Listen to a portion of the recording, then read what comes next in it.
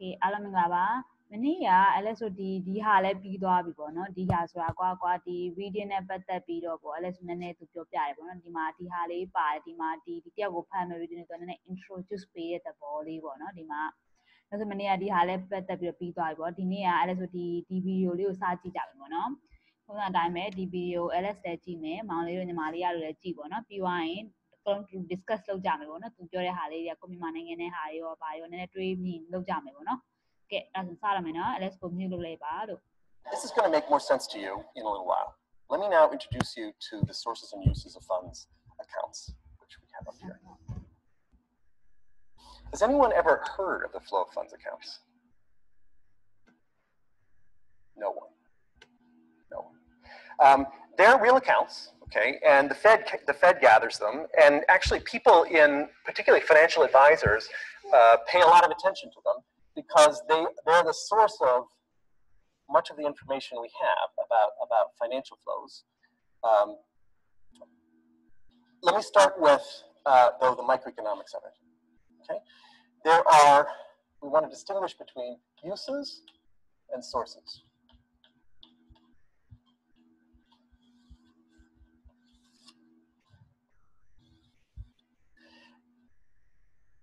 We want to distinguish between the goods and services account, which I sometimes will say call above the line, okay, and the financial account, which is below the line. And there are three different categories in the in, that I'm going to distinguish in the financial account. There's financial assets, financial liabilities. We're going to treat these separately. And money. Okay, so you can see that we're distinguishing here between money and credit. So there's this sort of hierarchy of money and credit that is going on here, and the ultimate payment is going to be is going to be money here. These are not T accounts because these are these are not balance sheets. These are not stocks. Everything here is a flow. Okay, so when, when, we, when we, we have as a source of funds, okay, when we sell something, that's a cash inflow. It's a source of funds. Okay? So we, we put here a receipt. When we sell something, we receive, we receive, uh, and these are goods, right? Real goods. So, and including, by the way, labor. So when you sell labor, you're getting a wage. So that's a, that's a receipt. That's a cash inflow.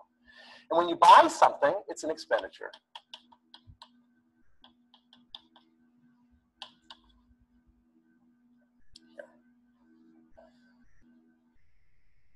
We're used to the NEPA accounts, the, the National Income and Product accounts, which focus on final sales only, you know, value added. Um, in flow of funds, we don't particularly care whether something is a final sale or not. If it's a, if it's a sale, it's an inflow. Okay, it's just it's a source of cash for the individual. It may not be a source of value for the economy as a whole, but it's a good or good or a service or, or labor. If we uh, sell a financial asset,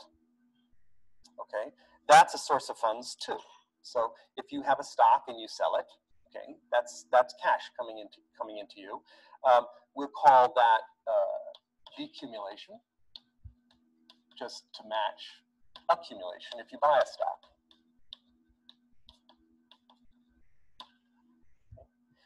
And uh, financial financial liabilities um, if you are as a source of funds, if you borrow money, right, the bank gives you money. Okay, that's a cash inflow. So borrowing is a source of funds, and repayment is a use of funds, repayment of debts. Okay. And money. Okay, if we have a, a, a pile of money, if we uh, take something off that pile, that could be a that's a source of funds. So this is dishoarding. And this is hoarding here.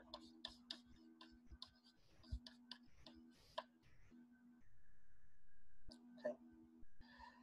This is this is a set of it's a conceptual uh,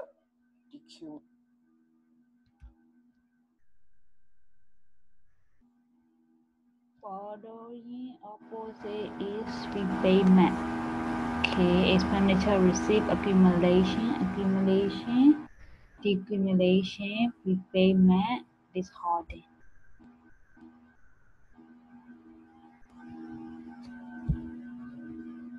accumulation. Did I spell that right? Yes. Um,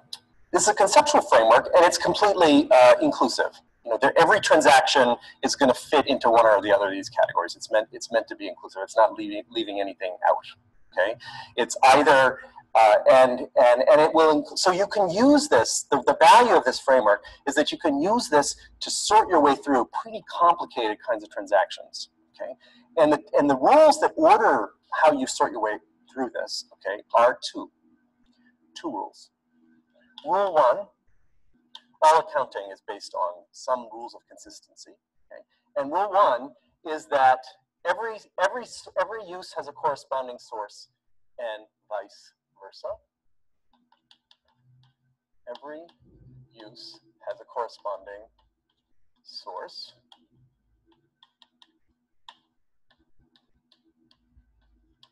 And vice versa. That is to say, you can't buy a good, okay, you can't buy a financial asset, you can't repay debt, you can't accumulate cash balances without it coming from somewhere. That's all it's saying. Okay? And if it's coming from somewhere, it has to go somewhere. So that's the vice versa part. Okay, so that's all it's saying. The other, the other rule, which is what allows us to turn this into macroeconomics, okay, is that every agent's use is some other agent's source, and vice versa. Every agent's use is some other agent's source. This is this is actually kind of deep, okay? That the that the economy as a whole, every time I get a receipt, it's somebody else's expenditure right? I'm selling a good, somebody's buying a good. So that's the sense in which source, my source is somebody else's use. If I'm buying a financial asset, I'm buying it from somebody, they're selling it. And so you see how that all works. And once you appreciate this, you see, you start to see the economy as this web of, of where depending on whether you're looking from my point of view or your point of view, everything, everything is connected, you know, and you can follow it all, all, all, all along.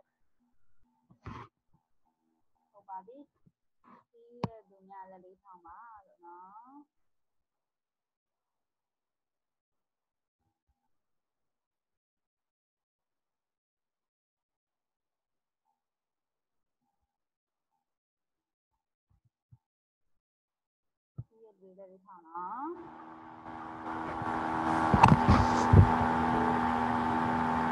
ဟုတ်ကဲ့ပါကျေးဇူးတင်ပါတယ်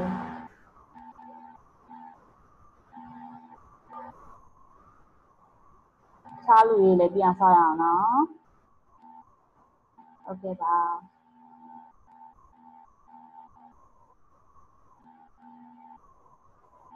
ဟုတ်ပါပြီ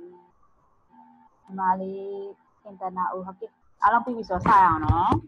အမှန်မှန်တော့ तू ကဒီမှာ तू ပြောချင်တာပေါ့နော်ဒီမှာ flow of fund account ဆိုပြီးတော့ရှိပါရဲ့လားဒီမှာ तू ပြောတာလေဥမြန်မာနိုင်ငံမှာဆိုရင်လည်းအဲ့လိုမျိုး flow of ဖန်အကောက်ပေါ့နော်အဲ့ဒါလေးရင်တော့ LS မြန်မာနိုင်ငံရဲ့ပတ်သက်နဲ့ပြောလို့ရအောင်လိုက်ရှာပေးမယ်နော် flow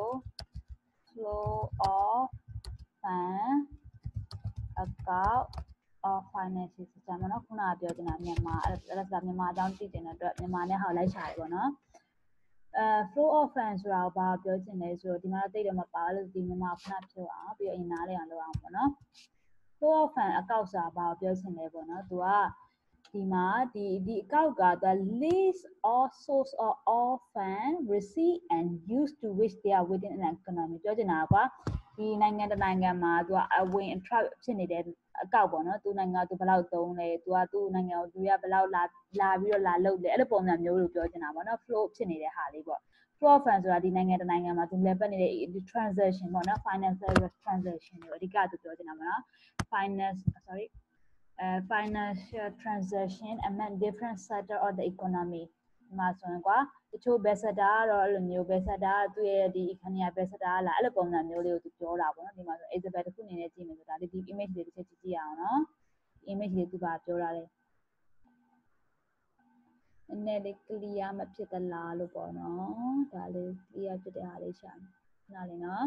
ဒီလိုမျိုးဟာလေးကိုသူပြောရတယ်ပေါ့နော်ဒီတချို့ခဏလေးဒါလေးကနည်းနည်း loading လုပ်နေတယ်နည်းနည်း clear မဖြစ်သလားလို့ okay ဟုတ်ပါပြီထားပါတော့ပြောချင်တာအဲ့လိုမျိုးပေါ့နော်အဓိကက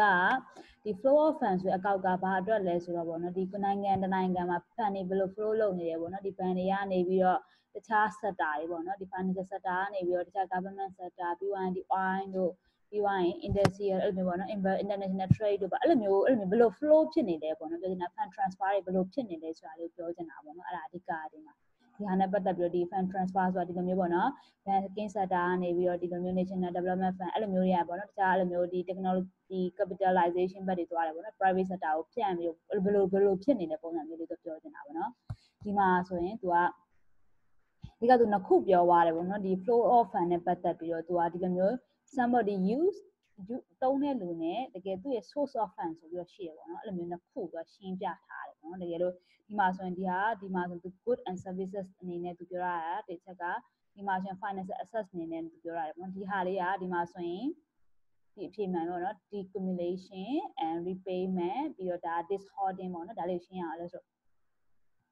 ဒီ good and services store လူတိုင်းလို့တော့သိရောသိတယ်ပေါ့နော်ဒီဟာဒါ control လုပ်ငန်းတွေပြီးတော့ဝန်ဆောင်မှုတွေကုန်ပစ္စည်းတွေဒါတွေကိုပြောချင်တာပေါ့နော်ဒီမှာပြောချင်တာဒီ good and services ဆိုတာက သူကဒီမှာပြောချင်တာပေါ့နော်ဒါဒီဘက်ဒီဘက် side နဲ့ဒီဘက် side ကပြောချင်တာကတယောက်နဲ့တယောက်ကဒါ complement ဖြစ်နေတယ်ပေါ့နော်တစ်ဖက်နဲ့တစ်ဖက်ကကြတော့လေ complement ဖြစ်နေတာပေါ့ဒီမှာဒီဒီ receipt ဆိုတဲ့ညမှာသူပြောချင်တာကွာကွာအဲပစ္စည်းပဲဝယ်တယ်ဗာဒီမှာ receipt ဆိုတော့ကိုရတာကိုပြောချင်တာနော်ကိုရဲ့ဒီလုပ်ငန်းနဲ့ဝင်လာတာတို့ဒီ receipt ပုံစံမျိုးဒီမှာ receipt စာရွက်ဘောင်းစာရွက်လို့ပြောတဲ့ပုံစံမျိုးတော့မဟုတ်ဘူးနော်ဒီမှာပြောချင်တာကိုရဲ့စီးပွားရေးလုပ်ငန်းနဲ့ဝင်လာတာ တို့ကိုရဲ့ဒီကိုတစ်ခုကိုစက်တာတဲ့ဝင်လာတဲ့အမောက်တို့ပါအဲ့ဒါဒီကပြောချင်တာပေါ့နော်ဒီမှာ receipt ဆိုတာလေဒီ expenditure ဆိုတာကွာကိုကတုံးလိုက်ရ use ဆိုတဲ့သဘောပေါ့နော်ကိုကတုံးလိုက်ဒီမှာအားလုံးလိုက use ပေါ့နော်ဒါဒါထွက်သွားတဲ့ဟာဒါဝင်လာတဲ့ဟာအဲ့လိုမြင်ပို့ပြီးတော့သိတာပြီနော်မျိုးစီထဲမှာဒီမှာ receipt ဆိုတာကိုကိုကိုစီကိုထွက်လာမဲ့ flow ပေါ့နော်ဒီမှာဆိုရင်ကိုကထုတ်ပေးလိုက်ရတဲ့ flow out ပေါ့နော်သူထုတ်ပေးလိုက်ရတဲ့ဟာမျိုးပေါ့ ကိုကသူများစီကလည်းမျိုးကုန်ပစ္စည်းပဲဝယ်တယ်ဆိုရင်ဒါ expand လုပ်လိုက်တယ်ပေါ့နော်ကိုမှရှိရ receipt ကိုသူများကို transfer လုပ်လိုက်တယ်သူများကိုပေးလိုက်တဲ့အတွက်သူဒါကိုကကိုကတုံးပြီးတော့သူကသူ့စီရောက်သွားတဲ့ပုံစံမျိုးပေါ့စတာတစ်ခုကတော့သူကဒီတခြားစတာတစ်ခုက service တွေဝယ်တဲ့ပုံစံမျိုးလေးကိုပြောချင်တာနော် flow ကအဲ့လိုဖန်သွားတယ်ပေါ့သူအဲ့လိုပြောချင်တာနောက်တစ်ခု financial access ပေါ့နော်ဒီမှာ financial access ကဘာကိုပြောချင်လဲဒီ stock တို့ bond တို့အဲ့ဒါတွေက financial access လို့ခေါ်တယ်ပေါ့နော်တချို့ကအဲ့လိုမျိုး तू ကဒါလေးကို तू ကဝယ်တဲ့လူတွေကဒါ accumulate လုပ်တယ်ပေါ့နော်ရောင်းတဲ့လူတွေကဒါ तू तू तू ကရောင်းလိုက်ပြီဆိုရင် तू မှာ fan ရောက်လာမှာလေ fan ကဒီဒီ accumulation ဆိုတာဒီမှာပြောချင်တာကွာစုတာနဲ့သဘောနဲ့နည်းနည်းတူတယ်ပေါ့နော်ဒီ hoarding နဲ့အတိတ်ပဲတော့ဆင်တော့ဆင်တယ်ပတ်စံဆိုတာပတ်စံ hoard လုပ်တာဆိုတာကကိုဘန်နဲ့ပတ်စံတွေတိန်းတာပေါ့နော် hoarding ဆိုတာမြန်မာလိုဘယ်လိုပြန်လဲ နောက်ပိုင်းမှာအဲ့လိုကြာတာမျိုးမှာလည်းပြောလာပြောနေတာဆုတာလည်းပြောနေတာပေါ့နော်အဓိကဒီမှာ boring ဆိုတာကိုကိုကို company တို့ကိုလုပ်ငန်းတွေကိုဝင်လာအောင်ပေါ့နော်သူများစီကအဲ့လိုသွားလုပ်တဲ့ပုံစံမျိုးဒီမှာဆိုသူ credit debit money ဆိုတာကိုသူပြောရတယ်ပေါ့နော်ဒါ level လေးပေါ့သူကဒီလိုမျိုးဒီ credit ကဒါ low level မှာရှိဒီဟာဒီလို direction သွားတာနော်ဒီ higher higher level ဒီမှာပတ်စံပေါ့နော်ပတ်စံပြီးရင်ကွာ debit debit ဆိုတာကိုယ်မှာရှိတဲ့ငွေကို debit လို့ခေါ်တာပေါ့နော် credit ဆိုတာကိုယ်သူများကိုယ်သူများပတ်စံယူသုံးကိုယ်သူများပြန်ပေးရမယ့်ဟာ credit လို့ခေါ်တာပေါ့နော် debit နဲ့ credit က တော်တော်များ confuse ဖြစ်ကြမှာဆိုလို့ debit ဆိုတာအမှန်မှန်တော့ကိုယ်မှာရှိနေရှိပြီးသားဟာကိုကိုယ်တိုင်ပိုင်တဲ့ဟာကို debit လို့ခေါ်တာပေါ့နော် credit ဆိုတာသူများကိုသူများစီကယူပြီးတော့သုံးတာပြီးတော့သူများပြန်ပေးရမယ့်ဟာမျိုးပြောချင်တာပေါ့နော်ပတ်စံဆိုတာဒါ ultimate ပတ်စံပေါ့အဲ့ဒါမျိုးပြောချင်တာဒီမှာဆိုကြည့်မယ်ဆိုရင်သူက flow of fund အနေနဲ့ကြည့်မယ်ဆိုရင်ပေါ့နော် sector တစ်ခုကခုနကဒီ image လေးအတိုင်းအပြောမယ်ဆိုရင်ပေါ့နော်တကယ်လို့ဒီတကယ်လို့ဒီခုနကသူပြောတဲ့နှစ်ခုကိုဒီမှာသူပြောတဲ့ row နှစ်ခုကို ls တော့ note ထုတ်ထားတယ်ပေါ့နော်တစ်ခုပါပြောလိုက်တယ်ဆိုတော့ every use ပေါ့နော်ဒီ every use ကဒီ every use က corresponding source is နာဒီအဲ့ဒီတခုသုံးလိုက်မယ်ဆိုရင်ဒီတခုရဲ့ source ကလည်းလာတဲ့ပုံစံမျိုးပေါ့နော်သူကဒီ dependent ဖြစ်နေပေါ့နော်ဒီ source ကဒီကနေလာတယ်ဒီ use က source ကနေလာတဲ့ပုံစံမျိုးပေါ့နော်နောက်တစ်ခုသူပြောလိုက်တော့နောက်လိုမျိုးဒီခုနဒီ agent လို့ပြောရတာဒီလိုမျိုး agent တွေကိုပြောနေတာဒီ tax ဒီ government budget တို့ဒီ OIS ဒီ sector တွေနဲ့ဒီစမြင်လိုက်ရင်ကွာ သူရဲ့သူတို့ဒီလိုမျိုး sector တွေမှာရှိသူတို့ agent တွေမတူကြဘူးเนาะဒီ trade trade တွေပတ်သက်တာလုပ်တဲ့ agent တွေပေါ့သူတို့တွေရဲ့သူတို့တွေရဲ့ expenditure ဒီဘယ်ကလာလဲဆိုရင်ဒီမတရား source ကနေလာတယ်ပေါ့အဲ့လိုမျိုးသူပြောနေတာပေါ့เนาะဒီနေရာမှာဆိုရင်ဒီဟာလေးနဲ့ပတ်သက်ပြီးတော့လေအဲ့ဒါဆို question လေးတွေမေးပါအောင်အဲ့ဒါဆိုပို့အဆင်ပြေသလားလို့ခုနအဲ့ဒါကကိုနားလေသလိုနည်းနည်းပြန်ပြီးတော့ရှင်းပြတယ်ပေါ့နော် ညီမလေးတို့မောင်လေးတို့ဒီစိတ်ထဲမှာမရှင်းတာလေးရှင်း Alex ကိုမေးပေါ့အဲ့လိုဆိုပို့ပြီးတော့ပြန်ရှင်းပြလို့ရမယ်ပေါ့နော် ဟုတ်ပါပြီတရားလောက် question လေးတစ်ခုပြင်မေးကြည့်ပါအောင်ဒါမှမဟုတ်ကိုနားလဲဆိုလို့ဒီဟောကပြန်ပြီးပြောကြည့်ပါဒီဟာလေးကိုလေဒီ step လေးကိုမမဟိုအမလေး financial စတာလေးကိုအမ use နေမှာကိုတုံးလိုက်တဲ့ဟာလို့ပြောရမလားอืม use ညာအမဘာလို့အဲ့ဒါ accumulate ဖြစ်သွားရလဲအဲ့ဒီ financial asset မှာဘာလို့တော့ဆုံးပြီွာဒီမှာ use ဆိုတာကဝယ်လိုက်တဲ့အဟာမျိုးကိုပြောချင်တာပါဒီဟာက negative ဖြစ်ရမယ် positive ဖြစ်ရမယ်အဲ့လိုမျိုးမရှိဘူးလား hoarding ဆိုတာဒီလား hoarding ဆိုတာကိုကကိုယ်မှစုလိုက်တာပဲလေကိုယ်ကိုယ်စီကိုရောက်လာတဲ့ပုံစံမျိုးဒီမှာကတော့ use လိုက်တယ်ဆိုတော့ဒီ source တွေ use လိုက်ပြီးသူကဒီဟာ use ဆိုတာဒီညာဘာတွက်လို့ရဆိုတော့ finance သူ့မှာရှိတဲ့ fund တွေကိုကွာသူကတုံးပြီးတော့သူကဒီလိုမျိုးဒီ financial assets တွေကိုဝယ်လိုက်တဲ့ပုံစံမျိုးဆို accumulate ချင်းနဲ့မတူဘူးနော်သူစုဝယ်စုလိုက်တဲ့ပုံစံမျိုးမတူလား is အနေနဲ့ပြရမယ်ဆိုရင်ကွာကိုက သူများစီမှာသူသူများသူများအိမ်ဒီပါဆိုရင်ဒီဟာဆော့ဆော့ဒီဟာလက်ဝင်လာမဲ့ပတ်စံတွေသူတို့စီဝင်လာမဲ့ဟာဒီဟာထွက်သွားမဲ့ဟာအဲ့လိုမြင်နော်ဒါကထွက်သွားမဲ့ဟာဒါဝင်လာမဲ့ဟာအဲ့လိုမြင်ပြီးဆိုရင်တကယ်လို့ကိုက financial asset တွေဝယ်မယ်ဆိုရင်ကိုယ့်ရဲ့ fund တွေကကိုကထွက်ဒီသူများကိုပေးရတော့မှာလေသူများပြင်ကိုကိုယ်စီမှာ asset တွေတော့ကိုပိုင်လာမယ်ဒါပေမဲ့ financial asset တွေတော့ကိုပိုင်လာမယ်ဒါပေမဲ့ကိုယ့်မှာ fund တွေကသူများကိုပေးလိုက်ရမယ်ပေါ့အဲ့လိုပုံစံမျိုးမျိုးစီရမြင်တာကို let's say အဲ့ဒါမှနေမဖြစ်ပြောရမယ်ဆိုရင်ကွာမတို့အိမ်ဝယ်တယ်ဆိုပါလို့နော်အိမ်ဝယ်လိုက်ကိုကအိမ်ကို accumulate လုပ်လိုက်တာကို့မှာ ပတ်စံကိုသူများပတ်စံအမှဆိုဒီညမှာကွာအဲ့ပတ်စံတွေကိုတုံးပြီးတော့ကိုကအိမ်ကို accumulate လုပ်လိုက်တာအိမ်ဝယ်လိုက်တဲ့ပုံစံမျိုးမျိုးစီရမြင်လာတာမျိုးအဲ့လိုမျိုးဟာလေဒီမှာ accumulation ဆိုတာပြောတာလေကိုယ့်ရဲ့ပတ်စံကသွားလိုက်တယ်ဒါပေမဲ့ကို့မှာ final financial assets accumulate လုပ်လိုက်တယ်အဲ့လိုပုံစံမျိုးပြောချင်တာအဲ့ဒါအဲ့ဒါ man အမအဲ့ဒါအမအဲ့ဒါဆိုကြကြကြဒီဟာတွေအကုန်လုံးကပါဒီဟာတွေအကုန်လုံးကကိုယ့်စီဝင်လာတဲ့ဟာတွေကွာဘယ်ဟာဘယ်ဟာဝင်လာလဲဆိုတော့ assess တွေဝင်လာတယ် ကိုကဘာထွက်သွားလဲဒီပတ်စံတွေထွက်သွားကိုယ့် fan တွေထွက်သွားကွာ flow of fan ဖြစ်တဲ့အတွက် flow of fan ကွာကိုယ့်စီကဝင်လာလားထွက်သွားတာပုံစံမျိုးဒီ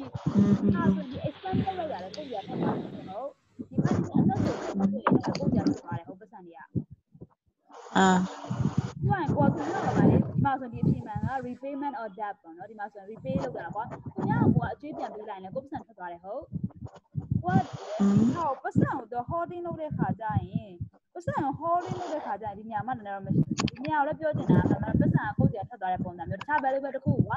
ဒီညမှာပတ်စံလို့မတွေးဘဲနဲ့ရွှေလို့တွေးလိုက်ကွာတိတာဒီတပည့်နဲ့ ultimate ရွှေလို့ဆိုပါစို့နော်အဲ့လိုမျိုးတွေးလိုက်တဲ့ခါကျရင်ကိုရွှေကိုဝယ်ဆွတဲ့ခါကျရင်ကိုမှရှိတဲ့ flow ကပတ်စံထွက်မသွားဘူးလားဒီစက်တင်လာတယ်အဲ့လိုမျိုးပုံစံမျိုးလေးကွာဒီမှာဆိုရင်ဝင်လာတာနော်ကိုကိုကိုကိုညာ receipt ကိုသူများစီရဖို့ပါလို့ရှိကြတာကိုစီကပတ်စံဝင်လာပြီဟုတ်တယ်ဟုတ် ကိုကကိုရဲ့ financial asset အိမ်ရောင်းလိုက်ဆိုရင်ကိုစီကပါဝင်လာပြီပတ်စံဝင်လာပြီဟုတ်တယ်ဟုတ်ကိုမှဒီ cumulate လုပ်ရတယ်နော်ကိုမှမရှိတဲ့ဟာကိုမှရှိတဲ့ဟာကိုရောင်းလိုက်တယ်ကိုကကိုမှရှိတဲ့ asset ကရော့သွားတယ်ဒါပေမဲ့ကိုရဲ့ fan ကတိုးလာပြီဒီမှာသူများစီကလည်းကိုပတ်စံသွားချင်ကိုပတ်စံကသူများတော့ပြန်ပြန်ထားတာပါဒါပေမဲ့ကိုကပတ်စံတိုးလာပြီဟုတ်တယ်ဟုတ်ကိုရွှေပါလို့ပတ်စံရောင်းလိုက်တဲ့ခါကျရင်ကိုမှပါတိုးလာပြီပတ်စံတိုးလာပြီမျက်စိလည်းမြင်လာအဲ့လိုမျိုးဟာလေးမြင်လာလားဟုတ်တယ်ရောတကယ်ရှင်းလာလား အမအဲ့ဒါဆိုအဲ့ဒါကိုပတ်စံဘက်ကပဲကြည့်ရမှာပေါ့လားအမအဲ့ပတ်စံနေ flow of fan ကွာဒီမှာ flow flow of fan ပေါ့ပြောနေတာဒီ flow of fan မကြည့်ဘူးလားဒီမှာသူပြောတဲ့ flow of fan ဆိုတာ flow sorry ဒီဟာလေးကိုပြောနေတာနော် flow of fan ကိုပြောနေတာကွာ flow of fan ဆိုတာကွာဒီမှာ fan လို့သူပြော fan flow ဆိုတာ flow of fan ဆိုတာ fan ဆိုတာပတ်စံကိုပဲပြောနေတာဒီလား fan ဆိုတာကွာ ဒီကိုယ့် fan ဒီဒီကိုယ့် funding ဆိုတာမျိုးရှိရပေါ့နော်ဒီမျိုးဘယ်လိုခေါ်လဲ funding လုပ်တယ်ဆိုတာပတ်စံကိုပြောနေတာပေါ့အမှန်တော့ဒီဟာကို capital funding တို့ funding accounting အဲ့ဒါစစ်စားပြီးတာတစ်ခုလောက်ပေါ့နော်ဒါ statement တွေရောက်ပေါ့ဟုတ်ဟုတ်ဒီနေရာမှာဆိုရင် fan ဝယ်ပြောနေတာမှာတောင်းဒီ flow ကအမှန်ဆိုဒီပြောပတ်စံရဲ့ဘယ်လိုဝင်သွားလဲဘယ်လိုထွက်သွားလဲပေါ့အဲ့လိုပုံစံမျိုးပြောနေတာပေါ့နော်အော်အဲ့ဒါဆိုမှကိုကိုစီကပတ်စံကုန်ရင် credit ကိုစီပတ်စံဝင် debit အဲ့လိုပုံစံမျိုးပါလားမ အဲ့လိုမျိုးမဟုတ်ဘူးဒီမှာသူ credit နဲ့ debit လို့မခေါ်တာဒီမှာဆိုသူကို use ပတ်စံကိုတုံးလိုက်တဲ့နေရာနဲ့ဒီမှာ use ဘယ်ဟာ use ရယ်ဘယ်ဟာ source ရယ်သူပြောရတယ်ပေါ့ဒီမှာနော်သူသူပြောတဲ့အတုံးတော့ကွာ credit နဲ့ debit ကိုသူမတုံးတာဘူး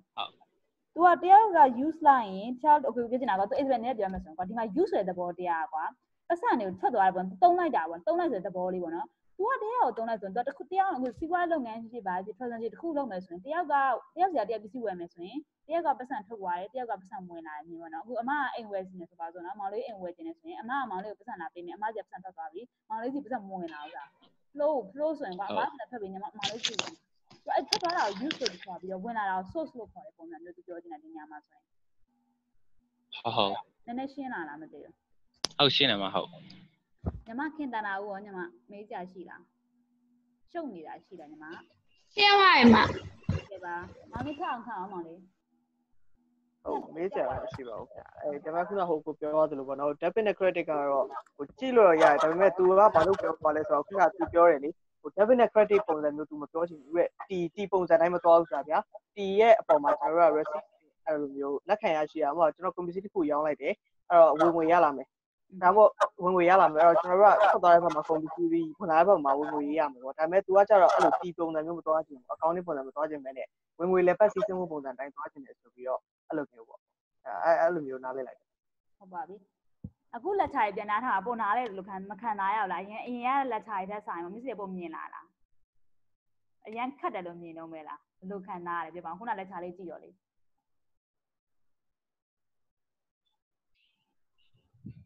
ဖြေလို့ရပါတဲ့လို့ဖြေလို့ရပါတယ်လဲဆိုတော့ time gentleman အနေနဲ့မေးလိုက်ရပါဘသူဘသူရေမလို့ဖြေခိုင်းတာမဟုတ်ပါဘူးဒါပေမဲ့မေးကြည့်တာကိုယ့်ရဲ့ဒီ feeling လေးသိချင်လို့ဘယ်လိုလေးကတော့ခက်တယ်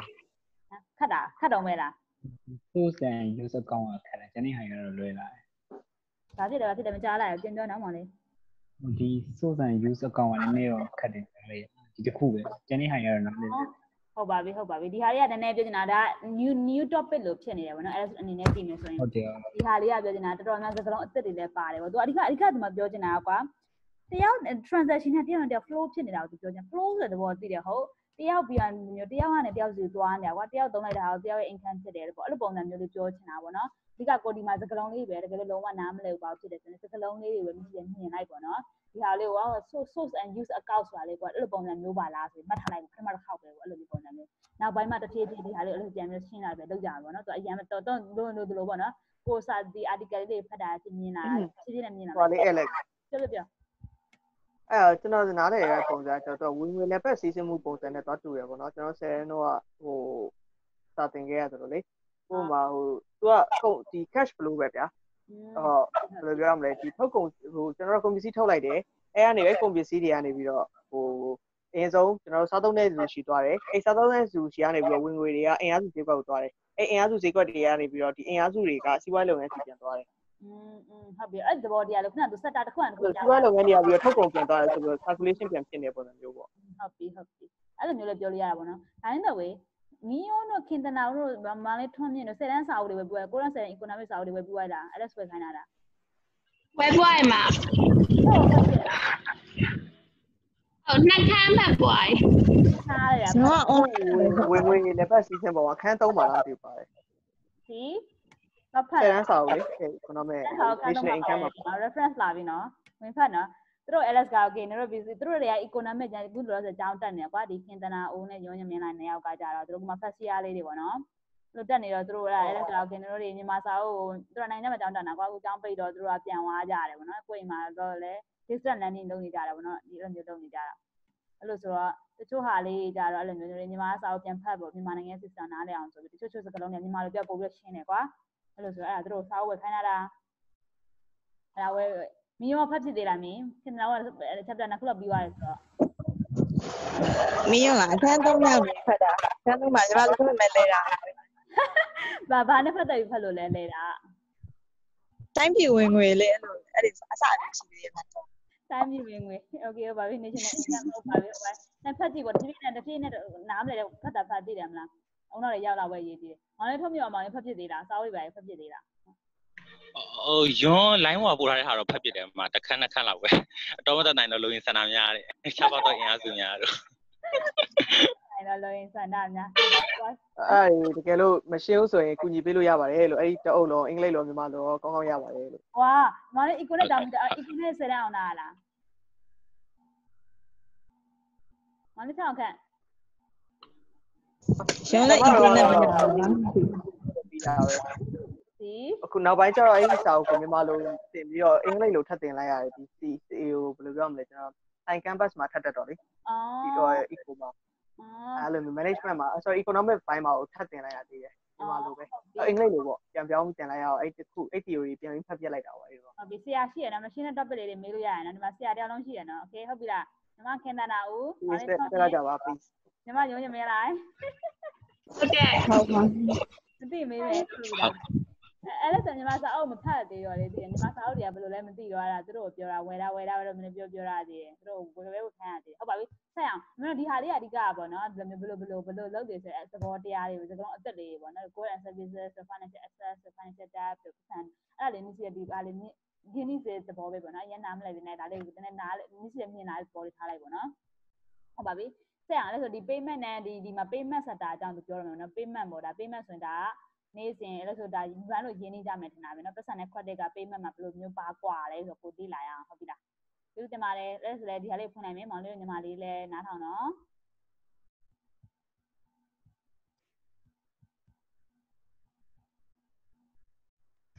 of of uh, of buying and selling goods. So let's simple case of of uh, of buying and selling goods. So let's suppose that you and I are the only people in the world, and that you are making something I want and I'm making something you want, um, but that these wants and, and productions aren't lined up in time. So we have a problem. I need to get your stuff without having anything to give you. You need to get my stuff without me having anything to give you. So, so barter's not going to work here. Okay. So one way we could arrange our, our lives, okay, is to have money.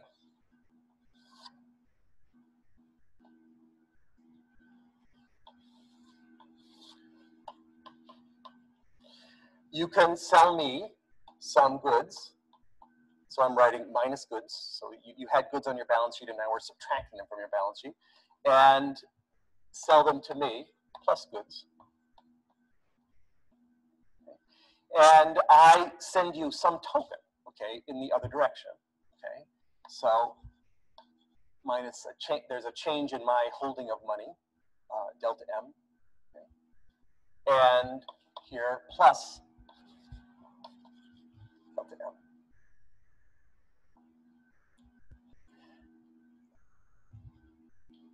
Not so complicated. We're going to start simple.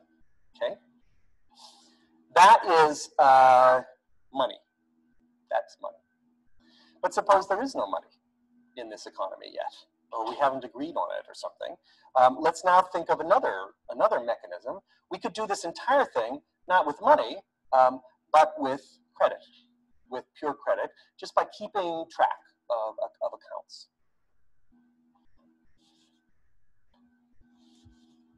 So I get the goods from you, and I say, thanks for those goods, and let me just write a little note to you um, indicating that I owe you. I owe you.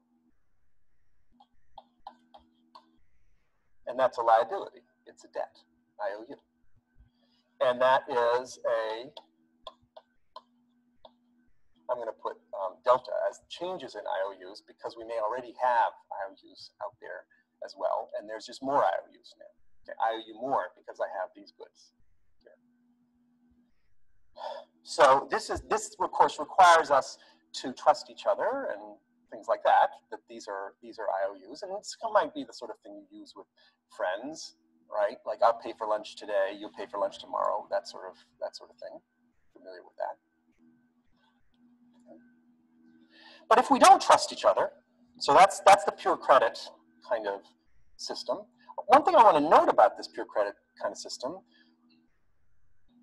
which we'll come back to is kind of important later on, um, notice that the quantity of outstanding IOUs increases when we make a transaction. You know, we're writing a new piece of paper that says IOU. Whereas when we did it with money, we are just exchanging existing pieces of paper back and forth. The, the money supply isn't changing when we when we move a piece of paper from my pocket to your pocket okay? But the credit supply is changing. The outstanding quantity of credit is changing when I write an IOU. So there's an expansion of credit in this, this mechanism. So it's a little different. But now suppose that uh, you know we don't trust each other. Uh, we don't know each other well enough. We're not sure we're going to see each other again or something like that. Um, so now, but we trust some third party. That's why I left that room in between these two, okay? And that third party um, is willing to step in between the two of us okay? accepting my IOU and issuing its own IOU, which you accept. I'm going to call this third party a bank.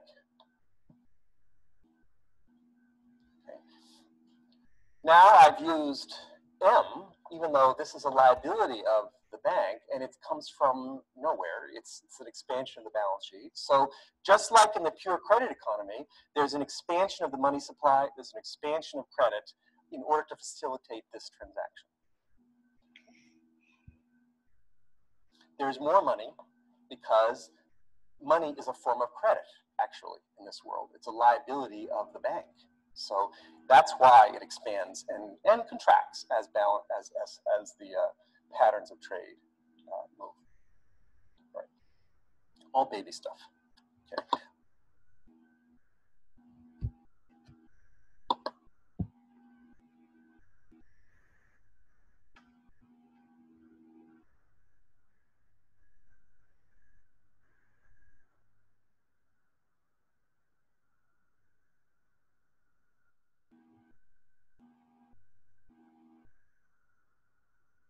but some deep and puzzling economics under, underneath that. This, of course, is, is much more like the modern economy. Okay, the modern, the modern econ- this is how the modern economy works. Okay, in, in a very stripped down, simplified way. ဟုတ်ပါပြီဟုတ်ပါပြီပြီးလူများလက်လေးထားပါယံဟေး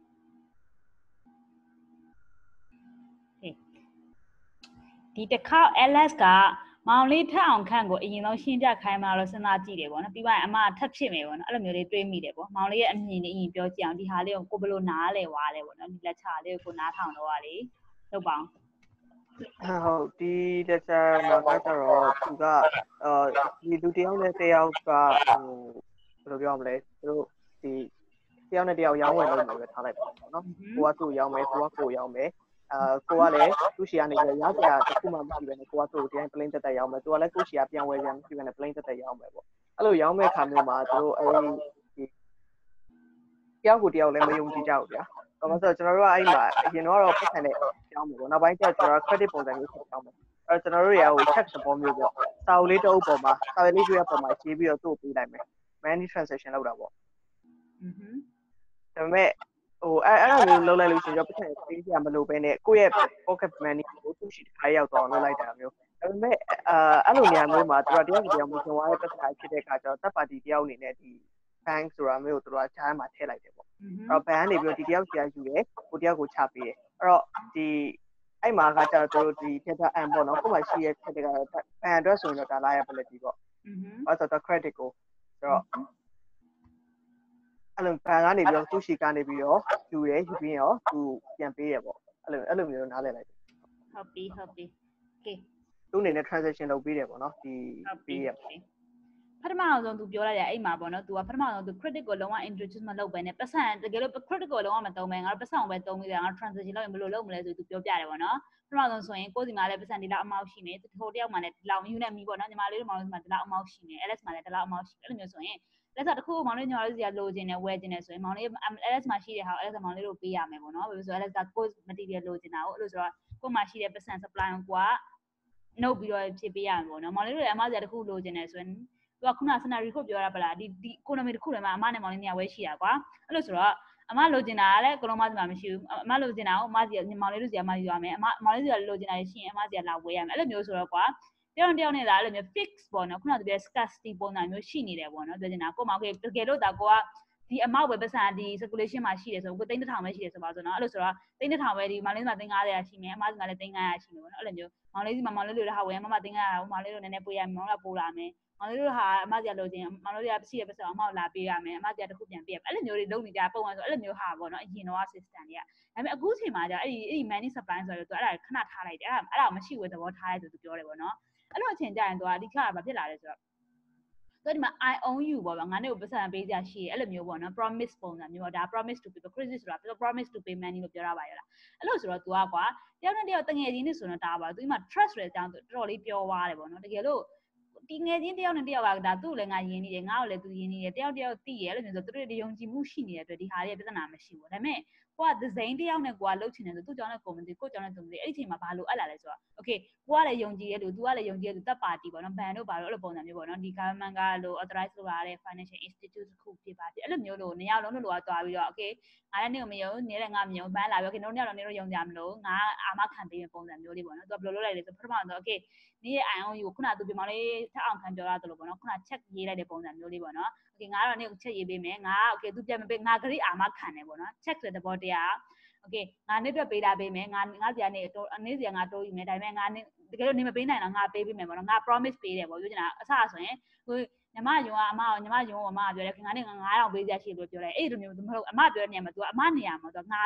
ဘန်ကသူအစားဝင်ပြောပေးတယ်ပေါ့နော်တကယ်လို့ငါမပေးအခုအမမပေးခဲ့သည်ရှိတောင် ဘက်ကသူ site ပေးရမယ်တာဝန်သူကိုယ်တိုင် promise ခံရတယ်ပေါ့သူကိုယ်တိုင် trustworthy အနေနဲ့သွားတယ်ပုံစံမျိုးပေါ့နော်အဲ့လိုမျိုးလုပ်လိုက်တဲ့အတွက်ကသူသူ့ရဲ့ဒီ promise ကသူ့ရဲ့ liability ဖြစ်သွားပြီကွာအဲ့လိုဆိုတော့သူအဲ့ဒီမှာဘာပြောလိုက်တယ်ဆိုတော့အဲ့ဒီမှာကွာဘန်ကသူ့အတူလိုရင်လိုသူ elasticity ဆိုတဲ့အကြောင်းလေးပါပါလာတော့သူလိုလိုအဲ့လို credit ကို expand လုပ်ပိုင်ဝင်လုပ်လိုက်တယ်ဆိုတဲ့ပုံစံမျိုးလေဒီဒီဟာလေးကိုသိထားမိတာမျိုးသူနောက်ဆုံးမှသူပြောသွားတာကဒီ model financial system နဲ့ပတ်သက်ပြီးတော့ဒီမှာဒီ quiz တွေတွေ ဒီမှာအခုလောလောဆယ်ပေါ့နော်ဒီ financial institution တွေ modern develop economy တခုရဲ့ institution တွေကဘယ်လိုမျိုး resemble ဖြစ်လဲပေါ့ resemble ပြောတာ resemble ဆိုတော့ဒီမှာဘာပြောချင်လဲဆိုတော့လုံးဝပုံစံပေါက်နေလေပုံစံမျိုးပြောချင်တာပေါ့နော်ဒီမှာဆိုတော့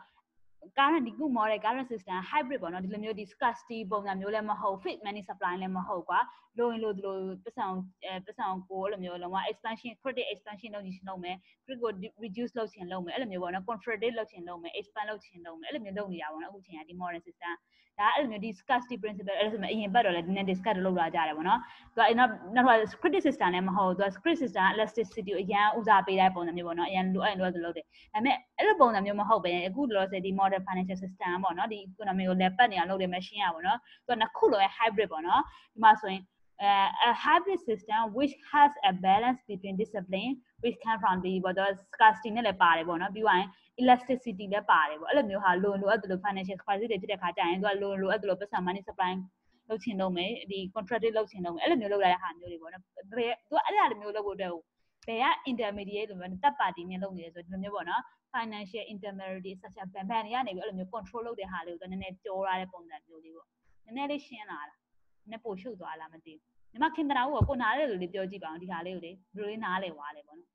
LS နဲ့ခုနကကိုထအောင်ခန့်နဲ့ပြောရတော့လေနည်းနည်းကိုယ်စိတ်တွေမှာနားလေရတယ်ကိုပြောကြည့်ပေါ့နော်တခြားလူတွေလည်းနည်းနည်းနည်းနည်းပြောကြည့်ကြတာပေါ့တယောက်မမြင်တဲ့ဟာတွေတယောက်မြင်ကောင်းမြင်မိမယ်ပေါ့နော်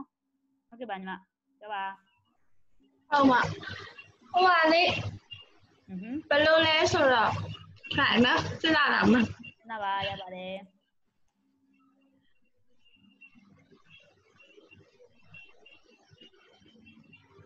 ကိုယ်စိတ်မှာနားရဲသလိုပြောလိုက်ညီမဒီအရင်မတွေးနဲ့ဟုတ်ပါဟိုပါလေဒီလိုမျိုးဘာအလဲအလဲမှာတပ်ပါတီအနေနဲ့ရှိမယ်ဟိုနှစ်ယောက်ကကြတော့ဟမ်သူတို့တယောက်နဲ့တယောက်မသိကြဘူးဆိုလို့ရှိရင်ဘာအလဲလဲကနေပြီးတော့အာမခံပေးမယ်ကွာဒါပေမဲ့လေဟိုဘက်ကဘန်အောင်တစ်ခုမပေးရဘူးလားဥမာသမီးကဘန်စီကဟိုလူစီကပတ်စံချီးကျင်တယ်ဆိုရင်ဘန်အလဲလဲကနေ तू ကအာမခံပေးထားတယ်ဆိုလို့ရှိရင် ဒီဘက်ကဟိုဘယ်လဲဥမာအင်္ဂရန်တို့ပါလို့မျိုးအဲ့လိုမျိုးအပေါင်ပစ္စည်းပါပေးကြမလို့ပေါ့ပေးစရာလိုတာပေါ့မလိုဘဲနဲ့ဘယ်သူကပေးမလို့ပေးစရာလိုတာပေါ့အော်အဲအဲ့လိုမျိုးထင်တယ်အာဘာလို့လဲဆိုတော့ကွာဘန်ကသူ promise ပေးဖို့ဆိုရင်မောင်လေးအခုမောင်လေးကညီမလေးက trust ဝယ် credit score ဆိုတာကြားဘူးလားမသိဘူးကို့မှာကွာကို့မှာပြန်ပေးနိုင်တဲ့ history ဘယ်လောက်ကောင်းကန်းရှိလဲဆိုတာသူတို့ကြည့်တယ်ပေါ့နော်ကွာ okay မောင်လေးကိုသွားပြီးတော့ဟာတက်သွားပြီးမောင်လေးကလုံးဝ say let's say what's kiss နဲ့ပြောတရောင်းစားဘူးသူကလာပြီးအမခံပေးမယ်ဟုတ်တယ်ဟုတ် what's kiss နဲ့ပြောတော့လိုက်တာနော်အမှန်မှန်တော့ပြောချင်တာမောင်လေးမှလည်းမောင်လေးအိမ်ပိုင်ကားပိုင်ရှိတော့မှလားသူက okay ဒီတော့မစိုးဘူးသူမှပြန်ပေးနိုင်တာရှိရမယ်ကလေးပြန်မပေးနိုင်ရင်တော့မှငါသူ့စီဟာကြီးသိမ်းလို့ရတယ်ဆိုတော့အဲ့လိုမျိုးဟာမျိုးတစ်ခုသူကကြည့်လို့ပေါ့မောင်လေး IOU သူကလက်ခံပေးတာပေါ့ဟုတ်တယ်ဟုတ်အဲ့လိုမျိုးလေးကိုပြောချင်ဒါကြောင့်ဟိုဘန်အိမ်တွေကိုချိတ်ပိတ်တယ်လို့ဘာလို့လေအဲအဲ့အဲ့လိုလိုမျိုးမျိုးပြီးတော့လေးလံတင်းပြန်ရောင်းပြစ်တယ်လို့ဘာလို့သူတို့ရဲ့ဟိုပေးထားတဲ့ဟာတွေကိုပြန်ပြီးတော့ပြန်ရှာလိုက်တာပေါ့သူတို့ရဲ့ပေါက်ထားတဲ့ຢာလို့ပြီးတော့ဟုတ်တယ်အဲ့ IOU တွေပေါ့နော်သူတို့အဲ့လိုမျိုးအဲ့လိုမျိုးသူတို့ဒါ collateral လို့ခေါ်တယ်ပေါ့နော်ကိုကအဲ့လိုမျိုး ရုံးကနေတော့အာမခံပေးပါစီးပွားရေးလုပ်ငန်းရှင်တွေလည်းတော်တော်များသူတို့အိမ်တွေလုပ်ငန်းတွေပေါင်ရတာအများကြီးရှိတယ်သူတို့မပေးနိုင်လေအဲ့လိုမျိုးပေါ့နော်โอเคညီမရှင်းလာလားညီမသခင်သနာဦးနည်းနည်း ဟုတ်ရှင်းတယ်မှာ โอเคပါမောင်လေးထုံးနေလည်းပြောပါအောင်ကိုလေးဘယ်လိုနားလဲလိုက်တယ်ပေါ့နော်အခုဒီ money နဲ့ credit ဒီ payment ဆိုတဲ့နေရာမှာသူပြောရတဲ့ဟာတွေကဒီ အာအမအဲ့ဒါကြတော့လေတခုနားလဲလိုက်တာလူဥမာကွာဒါအိမ်တိုက်ခန်းတစ်ခန်းဝယ်မယ်တိုက်ခန်းတစ်ခန်းဝယ်မယ်ဟိုဒါတိတ်တစ်ထောင်တင်နေထားပါသူကအရင်ဆုံးသူကအာyou know 30ရာခိုင်နှုန်းကိုပေးမယ်ဆိုရင်အိမ်မော်တက်နေလို့ရမယ်ဒါပေမဲ့ကို့မှာပတ်စံဥစ္စာမရှိမရှိတဲ့ဘန်မှာသွားချိတယ်ဘန်မှာသွားချိမယ်ဆိုတော့ဟိုအမအမအမပြောမှဆိုဒီမှာတော့သူကဟိုဘယ်လိုရမလဲ installment နဲ့ဝယ်တော့မှာကိုကတစ်လောက်ဝင်ငွေတစ်လောက်ရတယ်ပြီးဟိုဟိုကတစ်လောက်ဝင်ငွေ3သိန်းရတယ်ပါမှာ อือฮึ တလားချင်းဒီကို2သိန်း2သိန်းစီဆက်သွားမယ်ပေါ့ဒါပေမဲ့ကိုအိမ်ဝယ်လိုက်ပြီမဲ့ကိုကပတ်စံအကုန်လုံးပတ်စံမရှိတဲ့အတွက်ဘန်မှာသွားချစ်မယ် อือฮึ ဘန်မှာသွားဘန်မှာသွားချစ်တဲ့အတွက်သူကအဲ့ကိုဝယ်ထားတဲ့အိမ်ကန်ကိုသူကပြန်သူ့တိန်းထားမှာပေါ့တကယ်လို့ကို installment ပြမှပြန်ပေးတယ်အဲ့လိုပုံစံမျိုးလာမှာ အဲ့လိုလည်းပြောလို့ရမယ်ဒါပေမဲ့ तू အဓိကအမောင်လေးကို तू အဲ့လိုမျိုးတိမ်ပိမ့်မဲ့ तू အဲ့လိုမျိုးတော့အဲ့အဲ့ဒါကိုအဲ့လိုမျိုးတော့ဟာ mortgage လို့ခေါ်တယ်တိတာမောင်လေးအဲ့ဒါကိုလေ mortgage ဆိုတဲ့စကားလုံးလေးမပြောပြောပါရောလား mortgage ဆိုတော့မောင်လေးပြောတဲ့ scenario အဲ့ဒါ mortgage လုပ်တယ်ဆိုတာ mortgage လုပ်တယ်အဲ့ဒါအမောင်လေးပြောတဲ့ scenario ပဲ M O G G A G E mortgage အဲ mortgage စလုံးပေါင်းပါတယ် စလုံးပေါင်းမနဲ့အဲ့ဒါစလုံးပေါင်းမနဲ့ mortgage ကိုစလုံးပေါင်းတဲ့ပေါင်းလို့ရမှာ M O R T A G M O R T M O R T A G M O R T A G ဒီ mortgage ကိုပြောချင်တာပေါ့နော် mortgage ဆိုတော့ခုနမောင်လေးပြောသလိုပဲကိုကအိမ်ဝယ်ခြင်းနဲ့ကိုမှပတ်စံမရှိဘူးဒီမှာလေ a mortgage is loan အဲ့ဒါအမှဆို one type or loan ပဲပေါ့နော်ဒီမှာ is use either the purchase or the real real property ဆိုတာဒီမှာပဲ real estate ဆိုတာဒါပြောချင်တာအိမ်ချမ်းမြေပေါ့နော်အဲ့လိုမျိုးဟာတွေဝယ်ခြင်းနဲ့ဆိုပါတော့ဒါပေမဲ့သူ့မှာဖန်မရှိဘူးဖန်ဆိုတာဒီမှာပတ်စံမရှိဘူးပေါ့နော်သူအဲ့ဒါဝယ်ဖို့ အဲ့လိုဆိုတော့ဘာလုပ်လဲဆိုတော့ alternatively by a existing property owner to raise the fund for the purpose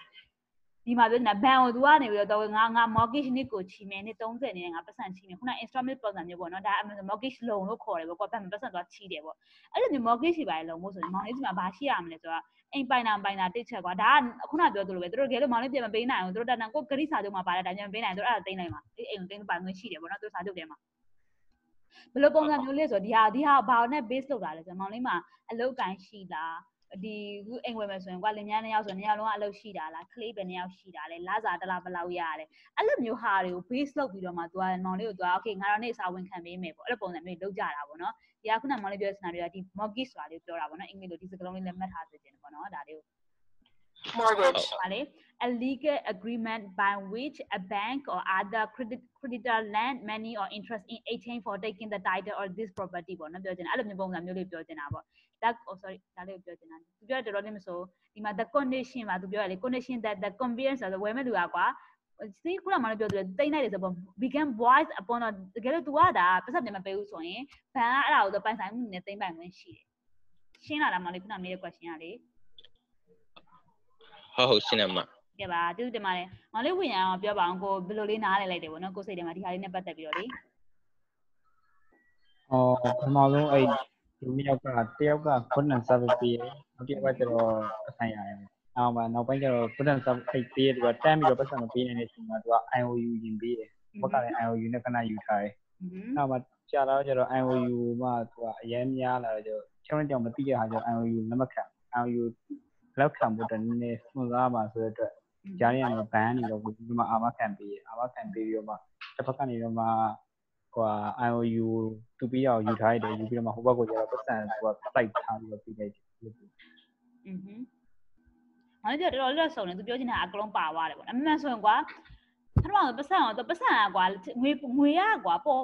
လွယ်ပေါ်ရတာခတ်တယ်ကွာသိရမလားကို့မှာငွေတော့3000ရှိရတော့မှန်တယ်အဲ့3000တခြားနေရာမှာဝင်နေရတဲ့ဖြစ်ကောင်းဖြစ်နေကွာကို invest ဆိုတော့လေအိမ်ထဲမှာလည်းဝင်နေဝင်နေမယ်ဒါမှမဟုတ်ကိုလုံးနေစီးပွားရေးမှာလည်းဝင်ဝင်နေမယ်ဒါကိုကပတ်စံမရှိဘူးမဟုတ်နော်ကို့မှာပတ်စံရှိတယ်ဒါပေမဲ့ကိုပတ်စံမထွက်လာ liquidate မလုပ်ရသေးတာကိုပတ်စံ cash နဲ့မပြောင်းရသေး money နဲ့မပြောင်းရသေးတာတခြား asset စီမှာသူ့မှာပတ်စံရှိတယ်အဲ့လိုဆိုတော့ငါမှပေးနိုင်ဆိုရင်ရှိတယ်ဒါပေမဲ့အမောင်လေးကမှမသိတဲ့အတွက်ယုံကြည်မှယုံပါလေဟုတ်တယ်ဟုတ် အဲ့လိုဆိုတော့ဘန်ကဘယ်လိုလုပ်ပေးလဲဆိုတော့ okay နေ့မှပေးနိုင်တော့ရှိတာငါသိတယ်အဲ့လိုဆိုတော့ဒီလိုနေပြန်မပေးနိုင်တော့ငါနေ့စာနေ့နေ့မှရှိထားတယ်ငါသိမ်းပိုင်ဝင်ရှင်နေငါအဲ့ဒါလက်ခံနေဆိုရင်ငါနေ့စာတက်ငါနေ့နေ့နေ့စာငါဝင်ခံပေးမယ်ဂရိဝင်ခံပေးမယ်အဲ့လိုမျိုးပုံစံလေးပြောလိုက်တာနေ့စီတယ်မြင်လာလားမင်းရောမြင်လာလားမင်းဟုတ်မှာညရအားလုံးပြောရဲဆိုတော့မင်းလည်းကိုနားလည်းပြောပါအောင်ဘယ်လိုလေးနားလဲွားလဲဗောဒီလက်ချအောင် ပြောတာခုနမပြောသလိုလေမမရုပ်ဘေးပြန်ရှိရဲ့ဟောပါကဲတော့မမပတ်စံမရှိတော့ဘန်တပ်ပါလေးနဲ့ပါတယ်ဆိုတော့ရုံးမှာဟုတ်မပြောက်သွားဘူးကွာအဲ့ဒီပတ်စံငါပြန်ရမယ်ဆိုရင်ဟုတ်တော့ရှိရပါနဲ့ဟိုက purpose ဖြစ်တယ်လို့ဟိုကဖြစ်တယ်ပေါ့ကွာဘန်တပ်ပါလေးနဲ့ရှိဘန်ကိုလိုအပ်တဲ့ဟာကို credit နေနဲ့ထုတ်ပြီးတော့ကိုတခြားကိုပေးချက်ရှင်ထားပြောက်ကို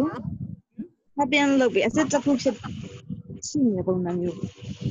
အဲ့အဲ့ဒါကြောင့်ပေါ့နော်အဲ့ဒါဆိုပြောဒီ trust ဘန်ဘန်ကို trusting ရှိဖို့ကအရန်ရေးပါတယ်ပေါ့နော်ကြည့်ပါဦးတခုခုလည်းလုံနေတော်တော်များကြည့်ပါလားသူကအခုလို့ဘန်ကိုပြည်သူတွေ trust ရှိတယ်အခု LS ကလည်း trust ဖြစ်တယ်ယုံတယ်ပေါ့နော်မောင်လေးဒုက္ခနေကလည်းယုံတယ်ညီမတို့မောင်လေးတို့ကလည်းယုံတယ်ဆိုရင်ဒါကတယောက်တယောက်လည်း transaction နဲ့ smooth ဖြစ်နေမှာပဲဟုတ်တယ်ဟုတ်ဒါပေမဲ့ဘယ်လိုပြဿနာဖြစ်လာပြီလဲဆိုတော့ဘန်ကအဲ့ဒီဘန်တွေကဟိုသတင်းဆိုဒီသုံးစထွက်လာပြီဆိုရင်ဟိုလည်းမယုံတော့ဒီလည်းမယုံတော့ general panic ဖြစ်နေပြီဆိုရင်ဒါ အားလုံးတော့မကောင်းသေးဘူးနော်ကိုယ့်ရဲ့ deposit transaction အားလုံးလို့ break ဖြစ်တယ်လို့ဖြစ်သွားတယ်ပေါ့နော်အဲ့လို crisis တွေဖြစ်လာတယ်အဲ့ဒီ reason ကြောင့်ပေါ့နော် bank run တွေဖြစ်တယ်အဲ့လိုမျိုးဖြစ်လာရင်ဒါပြောနေတာကိုယ့် economy အရန်ထိခိုက်တယ်ပေါ့နော်အဲ့လိုမျိုးတွေပဲဆိုတော့ဒီဟာကိုဒီ financial system ကိုလုံးဝလူများအဲ့ဒါလေးကိုမီတီနေပြီးတော့အားလုံးလိုကကွာစီးပွားရေးလုပ်နေကြတယ် company တွေကလည်းဒီဟာနဲ့ဆက်ဆံနေရတယ်အမတို့လိုဒီ investor တွေကလည်းဆက်ဆံနေရမယ်ပြီးသွားရင်တခြားပေါ့နော်တခြားစီးပွားရေးလုပ်ငန်းစဉ်တွေပြီးသွားရင်တခြားပေါ့နော် foreign investment အကုန်လုံးကဒီ financial system မီတီတာဖြစ်တယ်တော့နော်သူပဲဒါလုံးဝ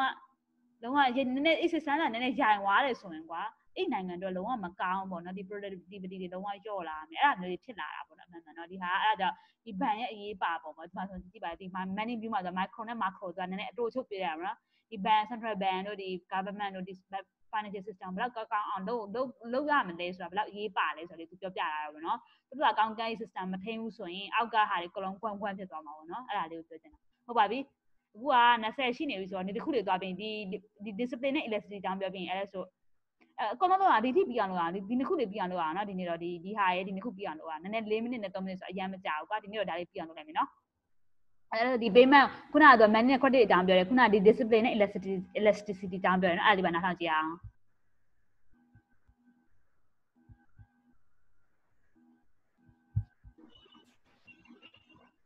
credit versus versus strict quantity. This is about discipline versus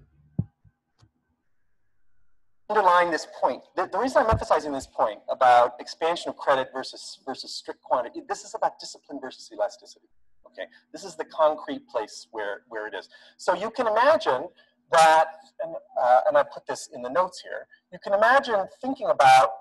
a world in which there's a fixed quantity of money here,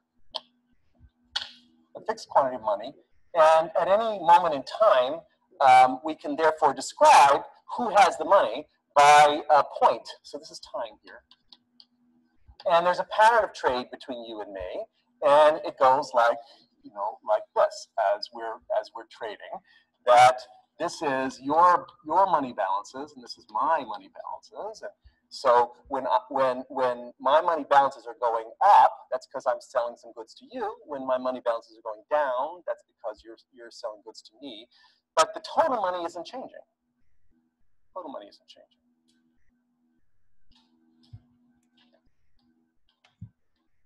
If there's not very much money, okay, then people run out of money. Okay, and some some transactions that, that we want to make are impossible to make because you don't have the money to make them. That's discipline. Okay. Similarly, you know, if, if were here. The pure credit economy, we could think of it as starting at zero instead of starting at a half of the money supply. And similarly, there could be some, let's see if I can copy that a little bit. This is zero here in the pure credit economy. And let's just put, and you can see that in this economy, um, this is maybe my credit limit here. And maybe this is your limit here. Okay. That uh, this is me borrowing from you, this is you borrowing from me, this is me borrowing from you on net, back and forth. And so the transactions involve, and sometimes there's no credit, right? Here along zero, the credit all goes down to zero, and sometimes it expands in order to facilitate transactions. So there's expansion and contraction of, of credit in the course of, of, of uh, the pattern of payments. There's no expansion or contraction of money. Here, there's just shifting from one pocket to another.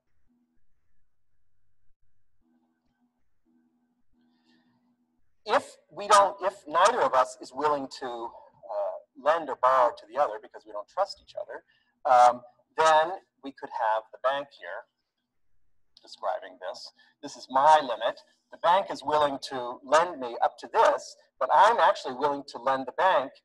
you know, any amount of money conceivably, a lot more than you, you know, a lot more than I would lend to you. Uh, so I can build up positive balances very large. Um, and uh, and the bank can do business with many people as well at the same time. So this tri- this multilateral this multilateral system is a is a credit system. So th- this is the first point to emphasize that, and we're going to go into this in more detail with actual instruments and Fed funds and all that sort of thing. But understanding that the payment system is a credit system, okay, not a money system, and that it has to be a credit system in order to have sufficient elasticity to ensure that people who want to make mutually advantageous trades are able to make mutually advantageous trades, even if none of them have money at the moment. They don't have any gold or the thing that's fixed in quantity, the discipline thing. Okay, credit is necessary in order to facilitate elasticity in the, in the system. And so when you go look at the actual system, expect to find credit there. It's going to be there. We're, we're going we're going to see it. Sometimes it doesn't look like credit.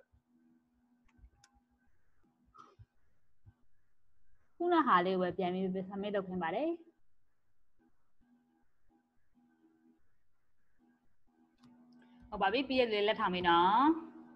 ဒါခုနအဲဆိုဆွေးနွေးတဲ့ discussion တိုင်းပါပဲသူကအရင်တော့များသွားတာမဟုတ်ခုနကသူက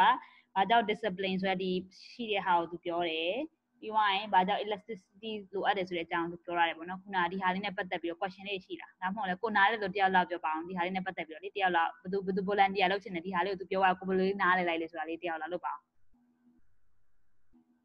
ဘယ်သူ volunteer လုပ်ချင်ပါတယ်လို့ Okay ခုနကနောက်ဆုံးမှခေါ်တာမင်းယွန်းဆိုတော့မင်းယွန်းလုပ်ကြည့်ပါအောင်ကိုဒါလေးဘယ်လိုနားလေသွားလဲဆိုတော့ပြောကြည့်လိုက်အောင်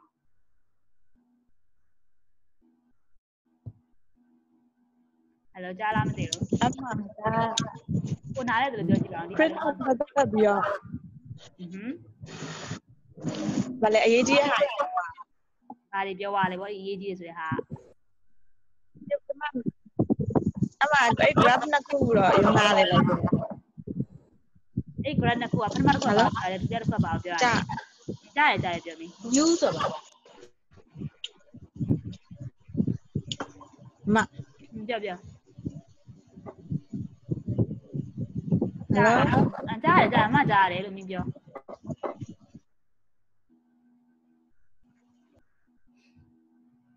ဒီပါ connection is unstable တရား connection မကောင်းဘူးဟုတ်ပါဟုတ်ပါနောက်တစ်ယောက်လောက်လုပ်ပါအောင်မလေးထွန်းမြင့်ရောပြောချင်တာဒီဟာလေးကိုကိုယ်လေးနားလေသွားလေဆိုတာလေ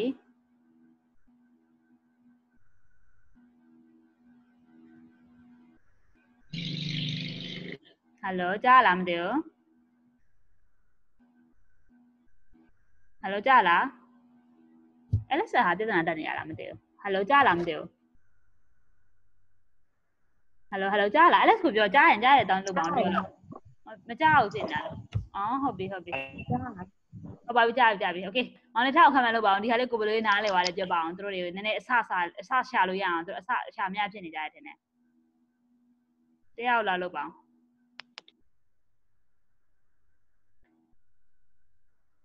စောင့်နေပါလေလို့ဟယ်လိုကြားလားမသိဘူး hello မကြားလားမ အင်းအင်းကြားတယ်ကြားတယ်ဒီဟာလေးကိုကိုခုနကပြောတဲ့ဟာလေးနဲ့ဘယ်လိုလေးနည်းနည်းပို့ပြီးတော့နားလဲလာလားဘယ်လိုလေးနားလဲသွားတယ်ပြောကြည့်အောင်သူပြောဒီ lecture လေးကိုလေ discipline နဲ့ elasticity တောင်းသူပြောတာဒီမှာ အာအမားတစ်ချက်တော့ပဲကြည့်ပြလို့ရလား ရပါတယ်ရပါတယ်ရပါတယ်โอเคအမပြောမှာပေါ့ तू ကခုနကလည်းဆိုဒီ graph လေးနှစ်ခု तू ပြောတာပါရောလားပထမ graph ကကြတော့ဒီမှာ तू ကပြောချင်ပထမ graph ကဒီဒီ graph နှစ်ခုပေါ့နော်အဲ့ဒါစားမယ်ဒီမှာဆိုရင် तू ကဒီမှာဆိုရင်ဒီဟာ money system ပေါ့နော်ဒီဟာကကြတော့ဒီဟာပတ်စံနဲ့လုပ်တဲ့ဟာဒီဟာ credit နဲ့လုပ်တဲ့ဟာပေါ့နော်ဒါ money system ဒါ money system ပေါ့ဒါ credit system လို့တွေ့နော်ဒီ money system မှာဆိုရင်သူ့မှာဒီမှာ fixed money supply ဆိုတာရှိတယ်ကွာ currency circulation မှာ fixed money supply ဘယ်လောက်ပဲလဲဆိုပြီးတော့ရှိတယ်ကွာအခုမြန်မာနိုင်ငံမှာဆိုရင်ဒီမှာကျပ်တန်းဘီလီယံဘယ်လောက်ဆိုပြီးတော့ fixed money supply ဆိုတာရှိတယ်ဟုတ်အဲ့ဒီ money supply ကအခုလို့ဆို you are you are you are amount ဒီမှာသူပြောနေတာဒါကွာ ဒီဟာဆက်တဲ့ point တစ်ခုဖြစ်နေတာဖြစ်မယ်ကွာဒီညကိုလက်စေ3000ဝယ်ထားပါတော့ simplify လုပ်ရမယ်ဆိုရင်ကွာ3000ရှိတယ်အဲ့ဒီမှာ3500ရှိတော့မောင်လေးစီမှာလည်း3500ရှိနေဟုတ်ကဲ့ဆိုတော့စုပါမှာ3000ပဲရှိရလေအဲ့ဒီမှာ3800ရှိတဲ့ဟာတိုင်းမောင်လေးစီမှာဘယ်လောက်ပဲရှိတော့မလဲ300ပဲဒါ you are ခွေဒီဟာကဒါစုပေါင်းရှိတဲ့ဟာကွာပြောချင်တာ ဒီအမောင်လေးနဲ့ညီမ LS နဲ့ပေါင်းတော့မှဒါ3000ရှိမှာကွာ current value တူတယ်ရအဲ့ဆိုမောင်လေးကမှများသွားရင် LS က balance ကနေသွားမယ်ဟုတ်တယ်ဟုတ် LS pocket နဲ့မောင်လေး pocket ကိုသွားနေသူမှာ fixed quantity ဖြစ်တဲ့အတွက်ပေါ့နော်အဲ့လိုဆိုတော့ဒီဒီ money supply ကအဲ့လိုလောက်ရှိတာဖြစ်တဲ့အတွက်တကယ်လို့မောင်လေးစီမှာများနေအဲ့လက်စီမှာရော့သွားမယ်အဲ့လက်စီမှာမောင်လေးစီမှာပစ္စည်းဝယ်ရင်အဲ့လက်စီမှာပတ်စံရော့သွားမယ်နော်တကယ်လို့မောင်လေးကအဲ့လက်စီကပစ္စည်းဝယ်မယ်ဆိုရင် မောင်လေးကရော့ပြီးတော့ LS ကပတ်စံ LS pocket ကပို့ပြီးတော့မြင့်လာမယ်အဲ့ဒါကိုသူပြောချင်တာမဟုတ်ဒါ money supply system ဒီဟာလည်းမရှိဘူးမဟုတ်ဘူးနော်ဒီဟာလည်းရှိနေလို့ဆိုတော့အဲ့ဒါရှိနေလို့ဒါဒီ central bank ပတ်စံ issue လုပ်ပြီးတော့ဒီဟာနဲ့လည်းလဲပတ်နေတဲ့ဟာတွေရှိတယ်အဲ့ဒါကြောင့်သူကဒါကို hybrid system လို့ခေါ်တယ်ပေါ့နော်ဒီဒီဟာပျောက်သွားတာမှာဟုတ်ဒီလိုမျိုးဒီ scarcity ရှိတဲ့ဟာလည်းသူကအဲ့ဒါလည်းရှိနေတော့မယ်ပေါ့နော်ဒါပေမဲ့အဲ့ဒီဟာတွေကဒီဟာကလုံးဝအဲ့ဒါကိုအဲ့ဒါအပြင်လူတွေတော်တော်များဒီဟာပဲမြင်ကြတယ်ပေါ့နော်ဒီဒီဟာဆိုတာကခုန LS ပြောတဲ့ဒီ ဒီ fixed money supply ဘက်ကိုပဲသိမြင်ကြတယ်ဒီ banking sector အဓိကအရေးရပါပြီးလုပ်တယ်ဒီဟာကို credit system ကြောင့်သိမမြင်ကြဒီမှာကသူကဘာကိုပြောရလဲဆိုတော့ okay banking sector ကသူမှာ limit ဆိုတာမရှိဘူးဒီမှာလုံးဝ limit မရှိဘူးဒီမှာ fix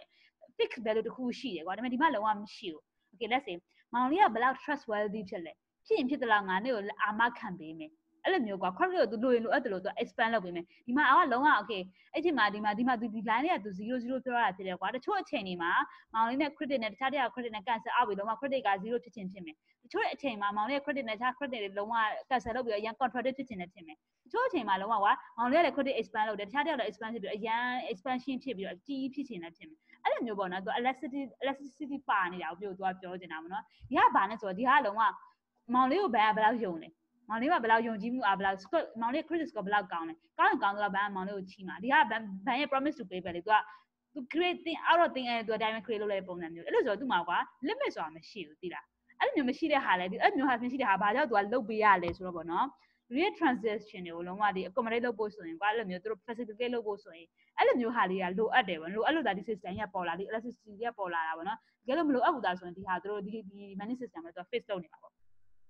ဘာဖြစ်လို့သူကဒီ system လိုအပ်လာလဲဆိုတော့ကွာပတ်စံနေရာမရှိမဟုတ်ရှိဒါပေမဲ့ပတ်စံနဲ့သွားပြီးအလုပ်လုပ်ဖို့တချို့နေရာကျတော့အဆင်မပြေဖြစ်နေတယ်ကွာโอเคငါနဲ့ကိုအခုအခုချိန်တော့ငါမပေးနိုင်ဘူးဒီချိန်ကျရင်ငါပေးနိုင်တယ်အဲ့ဒီဒီဟာတွေကဒါပြောရင်ဆိုဒါသူ့ရဲ့ access လို့ပြောတာဒီဟာကိုငါအခြေခံပြီးတော့ဒီလိုမျိုး credit ကိုငါ expand လုပ်တဲ့ပုံစံမျိုးပေါ့နော်အဲ့လိုမျိုးပုံစံမျိုးလေးပြောလာတာနည်းနည်းလေးမြင်လာတာမောင်လေး ဟုတ်ကဲ့ပါဟုတ်မြင်လာပါ ကိုကိုနားနဲ့သူပြန်ပြောကြည့်ပါအောင်တစ်ချက်လောက် ဟုတ်ဒီမှာအဲ့မှာဆိုလို့ရှိရင်ကိုကရောင်ရောင်ဝယ်ဝယ်ပေါ့နော်သူသူကရောင်ရောင်ပေါ့အဲ့မှာ total money ကတော့လောဟမ်ပျောက်သွားပြီအတန်ပျောက်သွားတယ်ဗောဖုံးဖုံးနေပါလေအဲ့မှာဆို equivalent point ရှိတယ်သူ့ကို face ထားထားတဲ့ demo တစ်ခုရှိမယ်ပေါ့ အဲ့တော့ तू ကကိုကတိုးလာတဲ့ခါကျရင်သူ့ဘက်မှာရော့သွားမယ်သူ့ဘက်ကတိုးလာရင်ကိုယ့်ဘက်ရော့သွားမယ်ဆိုပြီးပုံစံမျိုးသွားရပေါ့အောက်ကအခုနဒီ credit ဒီဇာတ်မှာကျတော့အဲ့လိုမျိုးမဟုတ်ဘဲနဲ့ तू ကပုံပေးထားတဲ့ဇာတ်နှုန်းမရှိဘူးသူ့မှာ equivalent ပုံပုံမှာဆိုလို့ရှိရင်တော့0ပဲရှိရပေါ့နော်အဲ့ဒီမှာသူ့အနေနဲ့ကမျိုးစုံဟိုအလှည့်ပြောင်းနေအများကြီးဖြစ်ပေါ်နိုင်တယ်ပေါ့ဟုတ်ပြီဟုတ်ပြီအဲ့လိုနားလည်လိုက်ပါ ဟုတ်ပြီဟုတ်ပြီပြောချင်တာကွာဒီ hybrid system ကြောင့်လည်းဒီဟာကလုံးဝဒါ scarcity ကိုပြောတာပေါ့နော် fixed value တခုရှိအဲ့ဒါအရင်ပတ်တော့မှလို့မေးပါရလားဒီ banking principle နဲ့ currency principle ဘာဖြစ်တယ်ညာဖြစ်တယ်လို့အဲ့လိုခေါင်းစားကြပါလားဟုတ်ဟုတ်ဟုတ်ဟုတ်ဟုတ်ဒီနှစ်ခုကြောင့်အဲ့လိုဒီဟာလည်းရှိနေတယ်ဒီဟာလည်းရှိနေတယ်နှစ်ခုစလုံးကရှိနေတယ်ပေါ့နော်ဒါပေမဲ့လူတွေကဒီ system ကမကောင်းလို့ချက်မြင်တဲ့လူတွေရှိတယ်လုံးဝဒီဟာပဲငါဦးစားပေးတယ်ဒီဟာကိုငါမလုပ်သင့်ဘူးဆိုတဲ့ဟာမြင်တဲ့လူတွေရှိတယ်လို့ဒါ okay ဒီဟာကတော့လုံးဝအဆင်မပြေဘူးဒီဟာပဲအဆင်ပြေလို့မြင်တဲ့လူလည်းရှိရပါဒါ economic တယောက်တစ်ယောက်ကလုံးဝ prefer တဲ့ opinion မမတူဖြစ်နေကြရဆိုပြီးပြောပါလားဒီ graph လေးနှစ်ခုနားလဲခုန electricity နဲ့ဒီ discipline ဆိုတဲ့ဟာလေးမျိုးစီတယ်မြင်လာမှာပေါ့နော်ဒီဟာလေးကိုနောက်တစ်ယောက်လောက်လုပ်ပါအောင်ဒီဟာလေးကိုနားလဲလို့ပြန်ပြောကြည့်ပါအောင်တစ်ယောက်လောက်လေးမောင်လေးဝင်ရအောင်လုပ်ပါအောင်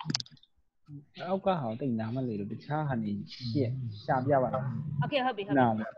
okay အောက်ကဟာအောက်ကဟာ LS example အစ်အနေနဲ့ပြောမယ်နော်ဒီခုနဒီဒီ discipline ဆိုတာလေးကိုနားလဲတယ်ဟုတ်ဒီ discipline ဟုတ်ဆိုနားလဲပြီနော် ဒီ fixed and supply ရှိတဲ့ဟာကိုနားလဲပြီနော်ဒီဒီဟာပြောမယ်ဆိုရင်ကွာ let's say let's say example တစ်ခုနဲ့ပြောကြမယ်ဒီမောင်လေးမှာလုပ်ငန်းမောင်လေးကစီးပွားရေးလုပ်ငန်းရှင်တယောက်ထားလိုက်ကွာမောင်လေးကဘန်နဲ့အလုပ်လုပ်နေတယ်အဲ့လိုဆိုတော့မောင်လေးမှာစီးပွားပဲစီးပွားရေးလုပ်ငန်းတွေကတိန်းတစ်ထောင်ရှိတယ်ဆိုပါဆိုနော်တိန်းတစ်ထောင်လောက်ရှိနေစီးပွားရေးလုပ်ငန်းလည်းပတ်နေတယ်ပေါ့နော်ဒါပေမဲ့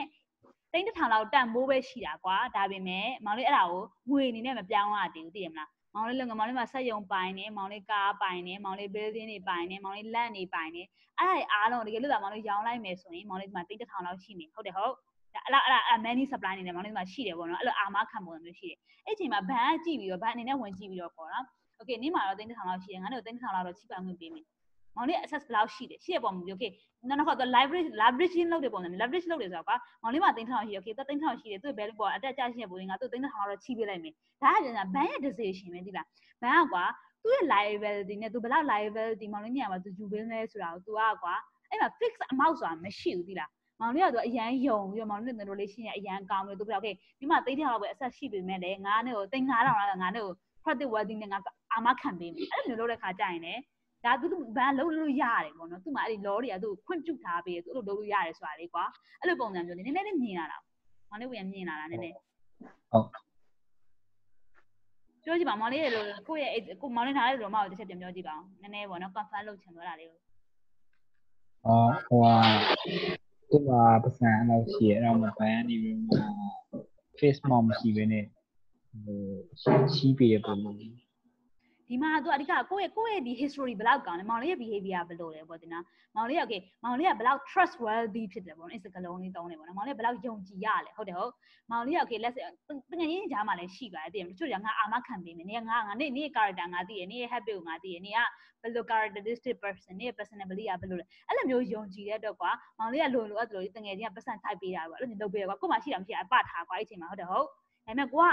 ငါတို့ယုံတယ်သူကြောင့်ငါတည်သူပတ်စံတစ်ထင်ချိုက်ရှိရင်ငါ့ကိုပြန်ပေးပါဆိုတော့ငါယုံယုံတယ်အဲ့လိုပုံစံမျိုးလေးပေါ့နော်တကယ်ချင်းနေနှစ်ယောက်ကြားမှာပြန်တွက်မယ်ဆိုရင်ကွာဒါစီးပွားရေးဒီ economy နေနဲ့ကြည့်မယ်ဆိုတော့ဒါ last scale နေနဲ့လုပ်လိုက်တာပေါ့အဲ့တော့ personal level ကိုသွားမယ်ဆိုတော့အဲ့လိုပုံစံမျိုးသဘောတရားတူတယ်ပေါ့နော်အဲ့လိုဆိုတော့မောင်လေးကပတ်စံ900ရှိပြီမဲ့လေအမ okay မောင်လေးက9000ချီချင်းချီပါလေဆိုတော့မောင်လေးကမယုံတဲ့အတွက်နည်းနည်းသဘောပေါက်လာလားညီမခင်တန်လာတို့ရောနည်းနည်းသဘောပေါက်လာလား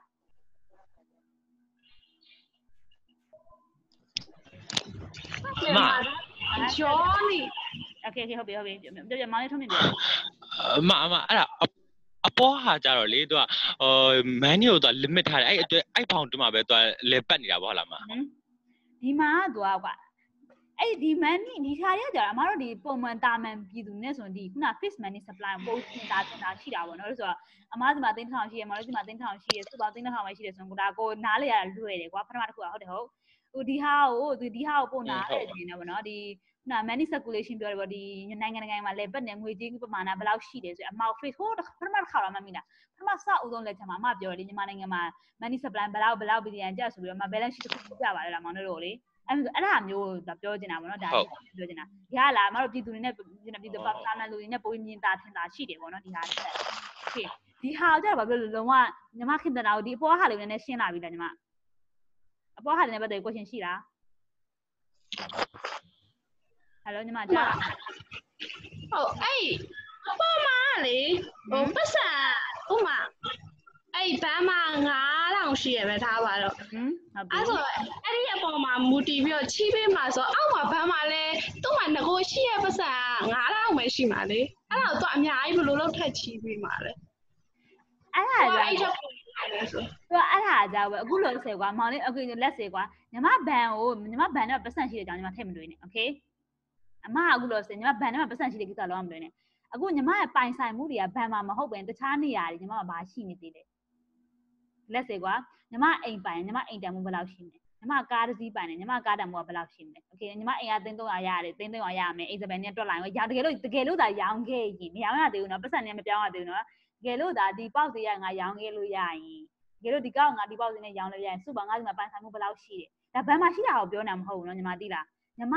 ဘန်မှာမဟုတ်ပဲねညီမကိုယ်တိုင်လက်လက်လောလောရှိနေတယ်ညီမဘန်ကပတ်စံသွားချိမှာလေညီမကမရှိလို့ညီမသွားချိတာပေါ့ညီမဘန်ကပတ်စံရှိညီမဘာလို့သွားချိရမှာလဲချိတယ်မလို့လေညီမအစီโอเคညီမညီမမှာကားရှိတယ်ညီမမှာအိမ်ရှိတယ်ဒါပေမဲ့ညီမကတခြားလုပ်ငန်းတစ်ခုလည်းရှိတယ်ဒါပေမဲ့ညီမလုပ်ငန်းချဲ့ချင်တာတော့ပဲထားတာပါညီမတော့ okay ဒီအခုလို့ဆိုဒီဆက်ရုံမှာလည်းညီမလုပ်နေပြီဒီဆက်ရုံတော့ကောင်းကောင်း run နေပြီအဲ့လိုမျိုး similar ဆက်ရုံတစ်ခုငါတခြားနိုင်တခြားမဟုတ်တခြားပြည်နယ်တစ်ခုမှာငါသွားလုပ်ချင်သေးတယ်အဲ့လိုဆိုတော့ကိုအဲ့ဒီအတွက်လိုလာကွာ လိုလာပတ်စံသွားလိုလာအဲ့လိုဆိုဘန်လူသွားပတ်စံသွားချီးရဆိုတော့အဲ့လို scenario လောက်ပါဆိုပါဆိုတော့ပတ်စံသွားတောင်းအောင်မယ်ပေါ့အဲ့လိုတောင်းမချင်ကြတော့ညီမကအရင်တော့လုပ်ငန်းတွေမှာညီမဘယ်လိုမျိုးသူ့ဆက်ဆံခဲ့လေပေါ့သိရမလားညီမပထမပထမလုပ်တော့ညီမသူ့ချီးလိုက်တဲ့ဟာညီမအတိုးပုံမှန်ပြန်ပေးလား ညီမသူသိမဟုတ်သိကြတဲ့နေရာတွေမှာညီမတုံးနေတာညီမအဲ့သူပေးပတ်စံညီမလောင်းကစားသွားလုပ်လိုက်တာအဲ့ဒါမျိုးလေးကိုကြည့်ပြီးတော့မှ okay သူကတော့ပုံမှန်သူ့ရဲ့ behavior တွေကောင်းတယ်သူကစီးပွားရေးလေးဆိုင်လို့သူ့ရဲ့ profit တွေလည်းရှိတယ်သူကငါတို့ interest လည်းပုံမှန်လေးပေးနေတယ်အဲ့လိုမျိုးဆိုတော့ဘန်ကညီမကိုယုံတဲ့အတွက်သူကသွားပြီး okay ဒီနောက်နောက်နောက် plan တစ်ခု plan ဆိုတာတင်ပါပြောနေဆိုစက်ရုံတစ်ခွက်တစ်ခုလည်းငါနဲ့ကို okay အာမခံပြီးတော့ပတ်စံထုတ်ချီးပေးမယ်တခြား investor တွေနေရာမှာကွာငါကဘန်မှာပတ်စံလာဆွေးလို့ကွာသူတို့တွေကိုငါအာမခံပေးမယ်နေနေရပြန်ပေးနိုင်တဲ့ဆိုဆိုငါအာမခံပေးပြီးတော့တခြားလူတွေရဲ့ deposit တွေကိုနေနေလုပ်ငန်းတွေငါကိုထည့်ပေးမယ် အဲ့လိုပုံစံမျိုးလုပ်တာပြောချင်တာဒါပေမဲ့ဒီနေရာမှာကွာ deposit ကိုသူတောင်းချင်တောင်းမယ်ဒါပေမဲ့ deposit ကိုလုံးဝမတောင်းနဲ့ဒီ loan ကိုသူဒီ finance system မှာ create လုပ်ဒီ create လုပ်လက်လေးလာကွာသူသူ live ပဲသူ expand လုပ်ပြီးတော့သူလုပ်လို့ရတယ်ကွာအဲ့လိုပုံစံမျိုးလေးသူ့မှာအဲ့လိုလုပ်ပိုင်ခွင့်တွေရှိတယ်ပေါ့နော်အဲ့ဒါမျိုးတွေကြောက်တာအဲ့လိုမျိုးဖြစ်လာတာနည်းနည်းပုံမြင်လာတာညီမချုပ်သွားလားဟာရှင်းသွားရင်အပေါ် graph ကလည်းမရှင်းဘူး okay အောက်ကဟာရှင်းသွားပြီနော်ဟုတ် okay အောက်ကဟာလုံးဝ limit မရှိဘူးအဲ့ဒါအပေါ်နဲ့အောက်ကဘာကွာနေလဲဆိုတော့လုံးဝ main difference ကအပေါ်ဟာ limit ရှိတယ် limit ဆိုတာကွာခုန Alex Isabel တေးတေးတခုပြောရဆိုရင်ဒီတလောကလုံးမှာမောင်လေးနဲ့ညီမရဲ့အမတို့အမတို့6ပဲရှိရဆိုပါဆိုနော်အဲ့လိုဆိုတာအမတို့6လုံးရဲ့စုစုပေါင်းပတ်စံအားလုံးက3000ပဲရှိမှာဒီထက်ပုံမလို့3000ပဲလုံးကကြော့လည်းမရောပါဘူးပေါင်းလည်းမရောပါဘူးပြည်စီမောင်လေးတချို့တစ်ချိန်ကျရင်မောင်လေးရအချမ်းတောင်တော့ဘယ်လိုရှိလဲတစ်ချိန်ကျညီမအချမ်းတောင်တော့ဖြစ်ပြီးတော့ညီမအသိန်း900ညီမပိုင်နေပြီအမတို့တယောက်30 30လောက်ပဲပိုင်နေတယ်ဟုတ်တယ်ဟောအဲ့လိုမျိုးထင်လို့ရှိသလို အဲ့ညီမမဟုတ်ပဲねချိန်ကျရင်အမအသိန်း9သိန်း1000လုံးပိုင်နေတယ်မောင်လေးကလည်းငမွဲလေးဖြစ်နေမယ်အဲ့လိုမျိုးပုံစံမျိုးပြောချင်တာသူကဒီနေရာမှာ face ဖြစ်တယ်ဆိုတာကွာလုံးဝ okay တလောကလုံးကဒီအမောက်ပဲရှိမယ်ဒီအမောက်မှာတယောက်တယောက်ပိုင်ဆိုင်မှုတွေကမတူကြဘူးပေါ့နော်ဒီအချမ်းသာဆုံးလူကအများဆုံးပိုင်ပြီးတော့ဆင်းရဲလူကအနည်းဆုံးပဲပိုင်မယ်ပေါ့နော်အဲ့လိုမျိုးတယောက်တယောက် transaction လုပ်နေရတာဖြစ်တဲ့အတွက်ဒီပတ်စံတယောက် pocket တစ်ခုကနောက် pocket တစ်ခုသွားနေမှာပဲပတ်စံတစ်အိတ်က pocket ကိုဘယ်လိုခေါ်လဲကိုအဲ့ရနေအိတ်ကိုသွားနေမှာပဲအများနဲ့ transaction ရှိနေမှာပဲနော်အဲ့လိုပုံစံမျိုးပြောချင်နည်းနည်းလေးရှင်းလာတာကိုချုပ်သွားတာဟုတ်ရှင်းတယ်မ ရှင်းသွားပြီလားဆိုပြန်ပြောခင်ဗျာရှင်းခင်ဗျာပြန်ပြောပြောအောက်က graph ကကြတော့ဟွန်းအမကဘန်ဆိုလို့ရှိရင်ဟွန်းအညီမပါလဲယုံကြည်ရရင်ယုံကြည်ရတဲ့လောက်ချီပေးမယ်ဟုတ်ပြီအပေါ်ကဟာကြောင့်အဲ့လိုမျိုးမဟုတ်ဘူးဟိုဟာ limit ရှိရယ်အအမမှာပတ်စံနေဥမာတယောက်မှာပတ်စံနေအများကြီးရှိရယ်ဆိုကို့မှာမရှိတော့ဘူးအဲ့တော့ကို့ယုံလို့မရတော့ဘူးအဲ့တော့ တော့မချိပေးတော့ဘူးအဲ့လိုလေအဲ့လိုလေ summarize လုပ်လို့ရတယ်ဆိုတော့ကွာညီမကပတ်စံအဲ့လိုမျိုးပတ်စံချီးပေးတာမျိုးငါငါဒီမှာပတ်စံဒီအပေါ်က grab ကပတ်စံချီးတာနဲ့ပတ်သက်ပြီးတိတ်မပါသေးဘူးတည်မှာဒါပေမဲ့တက fan transfer ပုံစံမျိုးလောက်ပဲပါတယ်ဒီမှာကျတော့ဒီအောက် grab မှဒါပို့ပြီးတော့လုံးဝဒီနိုင်ငံစီးပွားရေးဘာအကုန်လုံးပါလာတာပေါ့နော်ဒီကလုံးဝ very simple လေးပေါ့ဒီ personal level လောက်ပဲရှိရပေါ့နော်ဒီမှာပတ်စံဘယ်လောက်ရှိလဲငါ့စီမှာပတ်စံဘယ်လောက်ရှိလဲ okay ငါလည်းပတ်စံပေးမယ်ဒီပတ်စံက fan transfer ပုံစံမျိုးလေးပေါ့နော်တရားနဲ့ promise လန် promise I I ဒီမှာ I own you ပဲမပါသေးဘူးနော်ငါလည်း promise to pay later ဘာမှမပါဘူးဒါပေမဲ့နေမှာလည်းပတ်စံရှိတယ်ငါမှလည်းပတ်စံရှိတယ်အဲ့တော့ငါလည်းပေးတဲ့ရှိငါချက်ချင်းပေးလိုက်တယ်အဲ့လိုပုံစံမျိုးနဲ့ပြောရတဲ့ဟာပေါ့နော်ဒီပေါ်ဟာတွေကအောက်ကတည်းကအဲ့လိုမဟုတ်ကိုမကိုမလည်းဒီဟာဒီဟာကိုအခြေခံထားတယ်ပေါ့နော်ကိုမတော့ဒါလိုက်လို့ရှိသေးတယ်ဒါပေမဲ့ငါအဲ့ဒါတွေမသုံးသေးဘူးငါနဲ့ငါ promise to pay later date ပေါ့နော်တခြားတည်းရဲ့ငါနဲ့ကိုပေးမယ်အခုကငါဒီအဲ့ဒီ promise လေးနဲ့ပဲ play လုပ်နေကြတာပေါ့အဲ့လိုမျိုးပြောချင်တာဒီမှာလေဒီခုနက access တော့ရှိတော့ရှိတယ်ဒါပေမဲ့နည်းနည်းလေးရှင်းလာရင်တော့တမျိုးတဖြည်းဖြည်းနဲ့ရှင်းလာမှာပါအခုလာ ပထမတစ်ခေါက်ဒီ discipline နဲ့ elasticity တွေတွေ့ရဆိုအဲ့ဒါသိတော့မသိဘူးဟုတ်တယ်ဟုတ်အခုနည်းနည်းလေးပြန်ရှင်းလာပြီဟိုအဲ့ဒီနှစ်ခုလေအစားဆုံးတာမလဲသေးအောင်ကွာနည်းနည်းလေးသိတယ်နည်းနည်းမြင်လာမယ်လို့မြင်မိတယ်ပေါ့နော်မောင်လေးဝီလီယံရောတခြား question တွေရှိလားဝီလီယံ sorry ဝီလီယံတော့ဖြစ်ကုန်ဝီလီယံနဲ့မှာဟုတ်တယ်မောင်လေးဝီလီယံရောဆက်မေးကြရှိသေးလားဟုတ်မရှိဘူးဗျကဲမောင်လေးထအောင်ခန့်အောင်မောင်လေးရှိသေးလားအော်ဟိုမှာမရှိတော့ပါဘူးဟုတ်ကဲအဲ့ဆိုအဲ့ဒါဆိုဒီနောက်ခုမှဒီ survival constraint ဆိုတာလေးသွားဒီမှာ survival constraint ကဒီဒီဟာနဲ့ပတ်သက်လာပြောမယ်ထင်တယ်ဒီ survival constraint ပေါ့နော် အဲ့ဒါကဘာကြောင့်ဒီဟာဘာအရေးဘာကိုပြောချင်လဲကြည့်အောင်နော်ဒီဟာလေးပြင်လို့ဆိုအဲ့ရ3မိနစ်ပဲဆိုတာလေးကြည့်အောင်နော်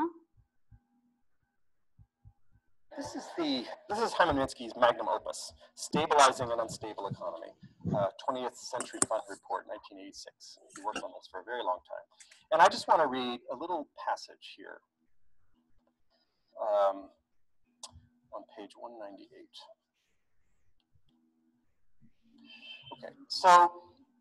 he says, and we're going to take this point of view throughout this course, so that's why I'm taking the time to quote it here. He says, to analyze how financial commitments affect the economy, it is necessary to look at economic units in terms of their cash flows. The cash flow approach looks at all units, be they households, corporations, state and municipal governments, or even national governments, as if they were banks. As if they were banks. What does that mean? That means thinking of each of every unit, every different kind of unit, as a money flow operation. There's ca- cash in, cash out, cash flow in, cash flow out. So that you know, not so much paying attention to the goods part, okay, but paying attention to the money flow, the money flow part. Okay. In urging this, um, uh, Minsky is pushing a macroeconomic perce- perception that is from uh, Copeland, um, which we're going to come to in a minute. But I want to focus on the microeconomic piece first, because we can we can build it up from our own our own intuitions. Okay. From a macroeconomic point of view, the key consequence of taking a money flow point of view is to put pressure, pu- put em- emphasis on something called that he called the survival constraint, or in other words, the reserve constraint.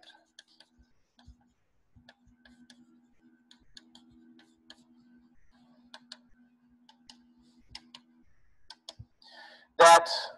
ultimately, your problem, okay, is not a budget constraint problem. It's not like economists think. It's certainly not an intertemporal budget constraint problem, like economists think. Okay, it's a liquidity constraint problem that you need every period. You need to have some kind of means of payment. You need cash inflow equal or greater than your cash outflow, or else you can't you can't make the cash outflow. So there's an issue of balance between cash inflow and cash inflow and and cash outflow. And in particular, cash inflow greater than your cash commitments. Promises you've made to make payments, promises you've made, for example, to repay debts. Okay. If you can't repay your debts with the cash that's coming in, okay, then you default and you do not survive. It doesn't matter if you have lots of wealth, if you have no cash, if you can't pay the debt, then you default and you are out of business. This is the liquidity constraint. Liquidity kills you quick. You'll hear Ah. that more than once in this class. Solvency, as a bank, you can go on for a long time, okay, doing business, even if you are insolvent. Many banks do. You cannot survive for one day if you are illiquid. Okay. And so, from if we adopt the point of view that everyone is a bank, okay, this is the thing that focuses the mind. Okay, it's the liquidity constraint, okay, not the not the budget constraint. ဟုတ်ပါပြီပြီးရလေးလေးလေးထားမယ်နော်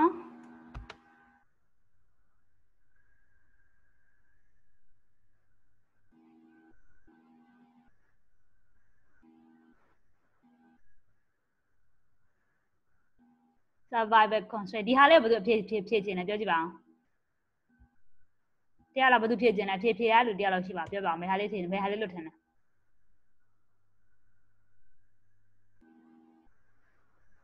ဘယ်ဟာလေးလို့ထင်မှတလဲဒီဟာလေးကိုတရားလောက်လုပ်ပါအောင်တရားလောက်လုပ်ပါအောင်အဲ့ဒါဆိုတော့အဖြစ်သိတယ်ပေါ့နော်ဒါပေမဲ့တရားအဖြစ်မှန်လက်သိတယ်ပေါ့ကိုဘာကြောင့်အလားထင်လဲကိုဘာကြောင့်အဖြစ်ရွေးလိုက်တယ်အဲ့ဖြစ်ကြဘာကြောင့်လဲဆို reason လေးပါပြောရမှာပေါ့နော် Okay, okay, okay, volunteer, volunteer, volunteer မလို့ LS assign လုပ်မှာနော်ဘယ်သူလေးထင်မှာဒါလေးပဲအဖြေပါလမန်လေးပဲထင်ပါသလဲဟော0ထက်ကြီးရမယ်အဲ0တက်ကြည့်ရမှာလို့တင်အဲဘယ်ဟာလေးလဲနံပါတ်1နဲ့3ဒါ1နဲ့3လေးဘယ်ဟာလို့ပြောထင်ပါသလဲတစ်ဟုတ်ပါပြီဘာကြောင့်တစ် sorry ဘာကြောင့်တစ်လို့ထင်လဲပြောပါအောင်ပါလေခုနပြောပါဟဲ့ခုနကဘာပြောသွားလဲပေါ့နော်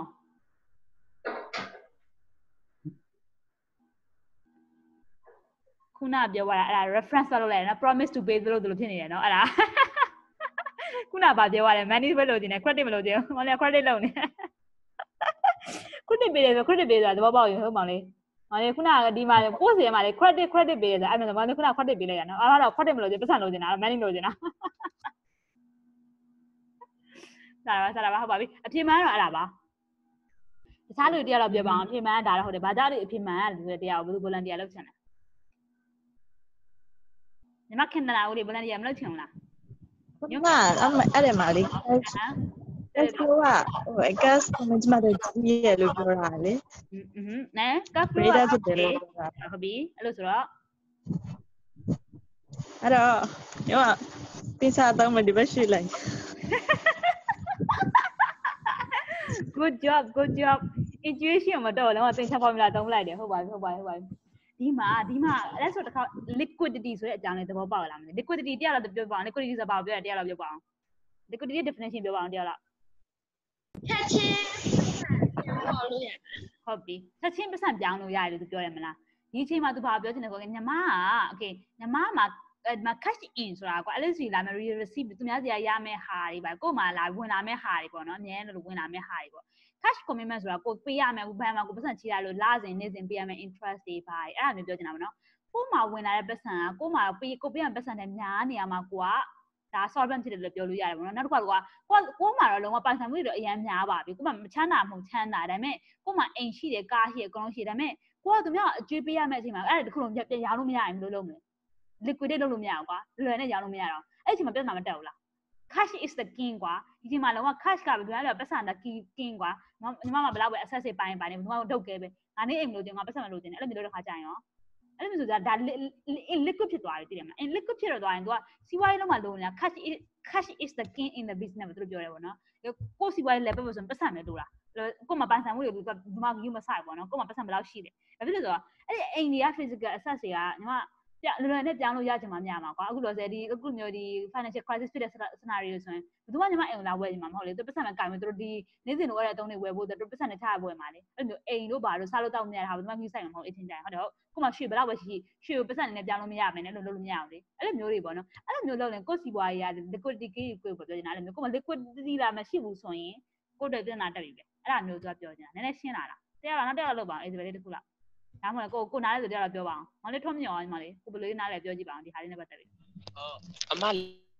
liquidity ပြောတော့ဟိုတခါအမလာပို့ပြီးရပို့ liquidity ကြောင်းစဉ်းစားပြီးရမှာအာဟုတ်တယ်ဟုတ်တယ်ဟုတ်ဒါတယ်လေးအမဟို covid-19 ကာလမှာဆိုပြီးတော့ပြောထားရွှေရကားရအိမ်ရဆိုပြီးတော့ပြောထားတယ်လေမဟုတ်တယ်ဟုတ်တယ်ရွှေရ liquidity အဖြစ်ဆုံးလို့မှပြောထားတယ်ဟုတ်တယ်အမပြောထားတာနောက်ဆုံးမှအိမ်ကိုလေအမမေမမေးချင်တာအိမ်ကိုအဲ့အချိန်မှာရောင်းမှုအတွက်ဆိုရင်ဘန်ရာပြက်တွေကဆုံးဖြတ်တယ်ဆိုတာလေပါတယ်အဲ့မှာပါတယ်ဘန်ရာပြက်ဆိုတာဘာပြောတာလဲမ ဘန်အော်အဲ့ဒါကြောင့် Alex ကိုမောင်လေးမေးတာကိုဘန်ယာပြက်ဆိုတာလားဘန်ယာပြက်ဟဲ့အမဆက်အပြန်ဖတ်ကြည့်မယ်သူဘာပြောချင်လဲလဲဘန်ယာပြက်ဆိုတဲ့စကားလုံးလေးနိုင်နော် Alex အဲ့ဒါလေးတစ်ချက်တော့ကြည့်ပြီ group တွေမှာလည်း sport တင်ထားတယ်ဆိုတော့ဒါဒီဟာဘာဖြစ်မလဲဆိုတော့ financial မှာမြန်မာဒီဟာဘာဖြစ်မလဲဆိုတော့ဒါလေးဖြစ်မယ်ဟုတ်နော် Alex ဒီမှာ note လေးရေဝင်ကြည့်ပြီအဲ economic မြန်မာဆောင်းပါးများမှာဖြစ်မှာ sorry economic finance မဟုတ်တာ a topic တွေတော့ discussion sorry topic တွေမှာသွားမယ် အဲ discussion မြန်မာစာဒါအမအရာမြန်မာစာမ economic မြန်မာစာမှာသွားကြည့်ပါ financial okay ဒါလေးသွားမယ်နော်ဒီမှာ Alex တုတ်လာလိုက်မောင်လေးပြောတဲ့ဟာဒီမှာ Alex ထည့်တာဒီဟာဟုတ်မောင်လေးပြောချင်တာ liquidity ဆိုတာလေးကိုပြောချင်တာလေဟုတ်တယ်ဟုတ် okay ရွှေရ okay မောင်လေးပြောအိမ်နေရာမှာနော်ဒီမှာသူပြောတယ်ဘယ်လိုဘန်ဘန်ရာဖြတ်တွေရဲ့ကာလပေါက်စေတဲ့ okay Alex သဘောပေါက်ပြီပြောချင်တာကွာမောင်လေးကပတ်စံအမြန်လို့ခြင်းတော့ဘန်တွေကပတ်စံကို cash နေညီမမောင်လေးကိုပေးလို့ရတယ်ဟုတ် အဲ့ဆိုမောင်အမြန်ဆုံးလို့ခြင်းဘယ်လိုသွားလို့ရတယ်ဆိုဘန်ကိုသွားပြီးမောင်လေးသွားလို့ရတယ်ဘန်မှာပေးတဲ့ဈေးနှုန်းကိုသူပြောချင်တာဘန်ဘန်မှာလုံးဝဖြတ်ပေးလိုက်တဲ့ဈေးနှုန်းပြောချင်တာကွာမောင်လေးအိမ်ကပုံမှန်ဆိုရင်တိန်းတစ်ထောင်ပေါက်လေနော်ဒီမှာ financial crisis ဖြစ်တဲ့အတွက်တိန်း900ပဲသူပေးမယ်ကွာဘန်ကတိန်း900နဲ့မောင်လေးဖြတ်ပေးလိုက်တယ်ဈေးဖြတ်ပေးလိုက်တော့ပြောချင်တာဒီနေ့မှာသဘောပေါက်လားအော်ဟုတ်ဟုတ်ဟုတ်ဟုတ်ဘန်ယာဖြတ်ဆိုတာဟုတ်ကဲ့ဟုတ်ကဘန်ဘန်ဒီမှာသူပြောတဲ့ဘန်ယာဖြတ်ဆိုတာဘာကိုပြောချင်လဲဆိုတော့မောင်လေးအိမ်ကိုဒီစရင်စစ်လိုပုံစံမျိုးတံမိုးတံမိုးဖြတ်ပေးလိုက်တဲ့ကောင်ကိုပြောချင်တာ ဘန်ဌာနတစ်ခုရှိမှာပေါ့အဲ့ဌာနကမောင်လေးကိုခင်မောင်လေးအိမ်ကတလောက်ပဲတန်တယ်ဆိုပြီးတော့တံမိုးဖြတ်ပေးလိုက်တာပြောချင်တာတံမိုးဖြတ်ပေးတဲ့ဒီကိုပြောချင်တာအဲ့ဒါမောင်လေးပြောချင်တာဘန်ယာဖြတ်ဆိုတာဟုတ်တယ်ဟုတ်တယ်မဟုတ်ဟုတ်အာဟုတ်ပြီအဲ့ဒါကိုပြောချင်တာမောင်လေးနည်းနည်းရှင်းလာပြီလား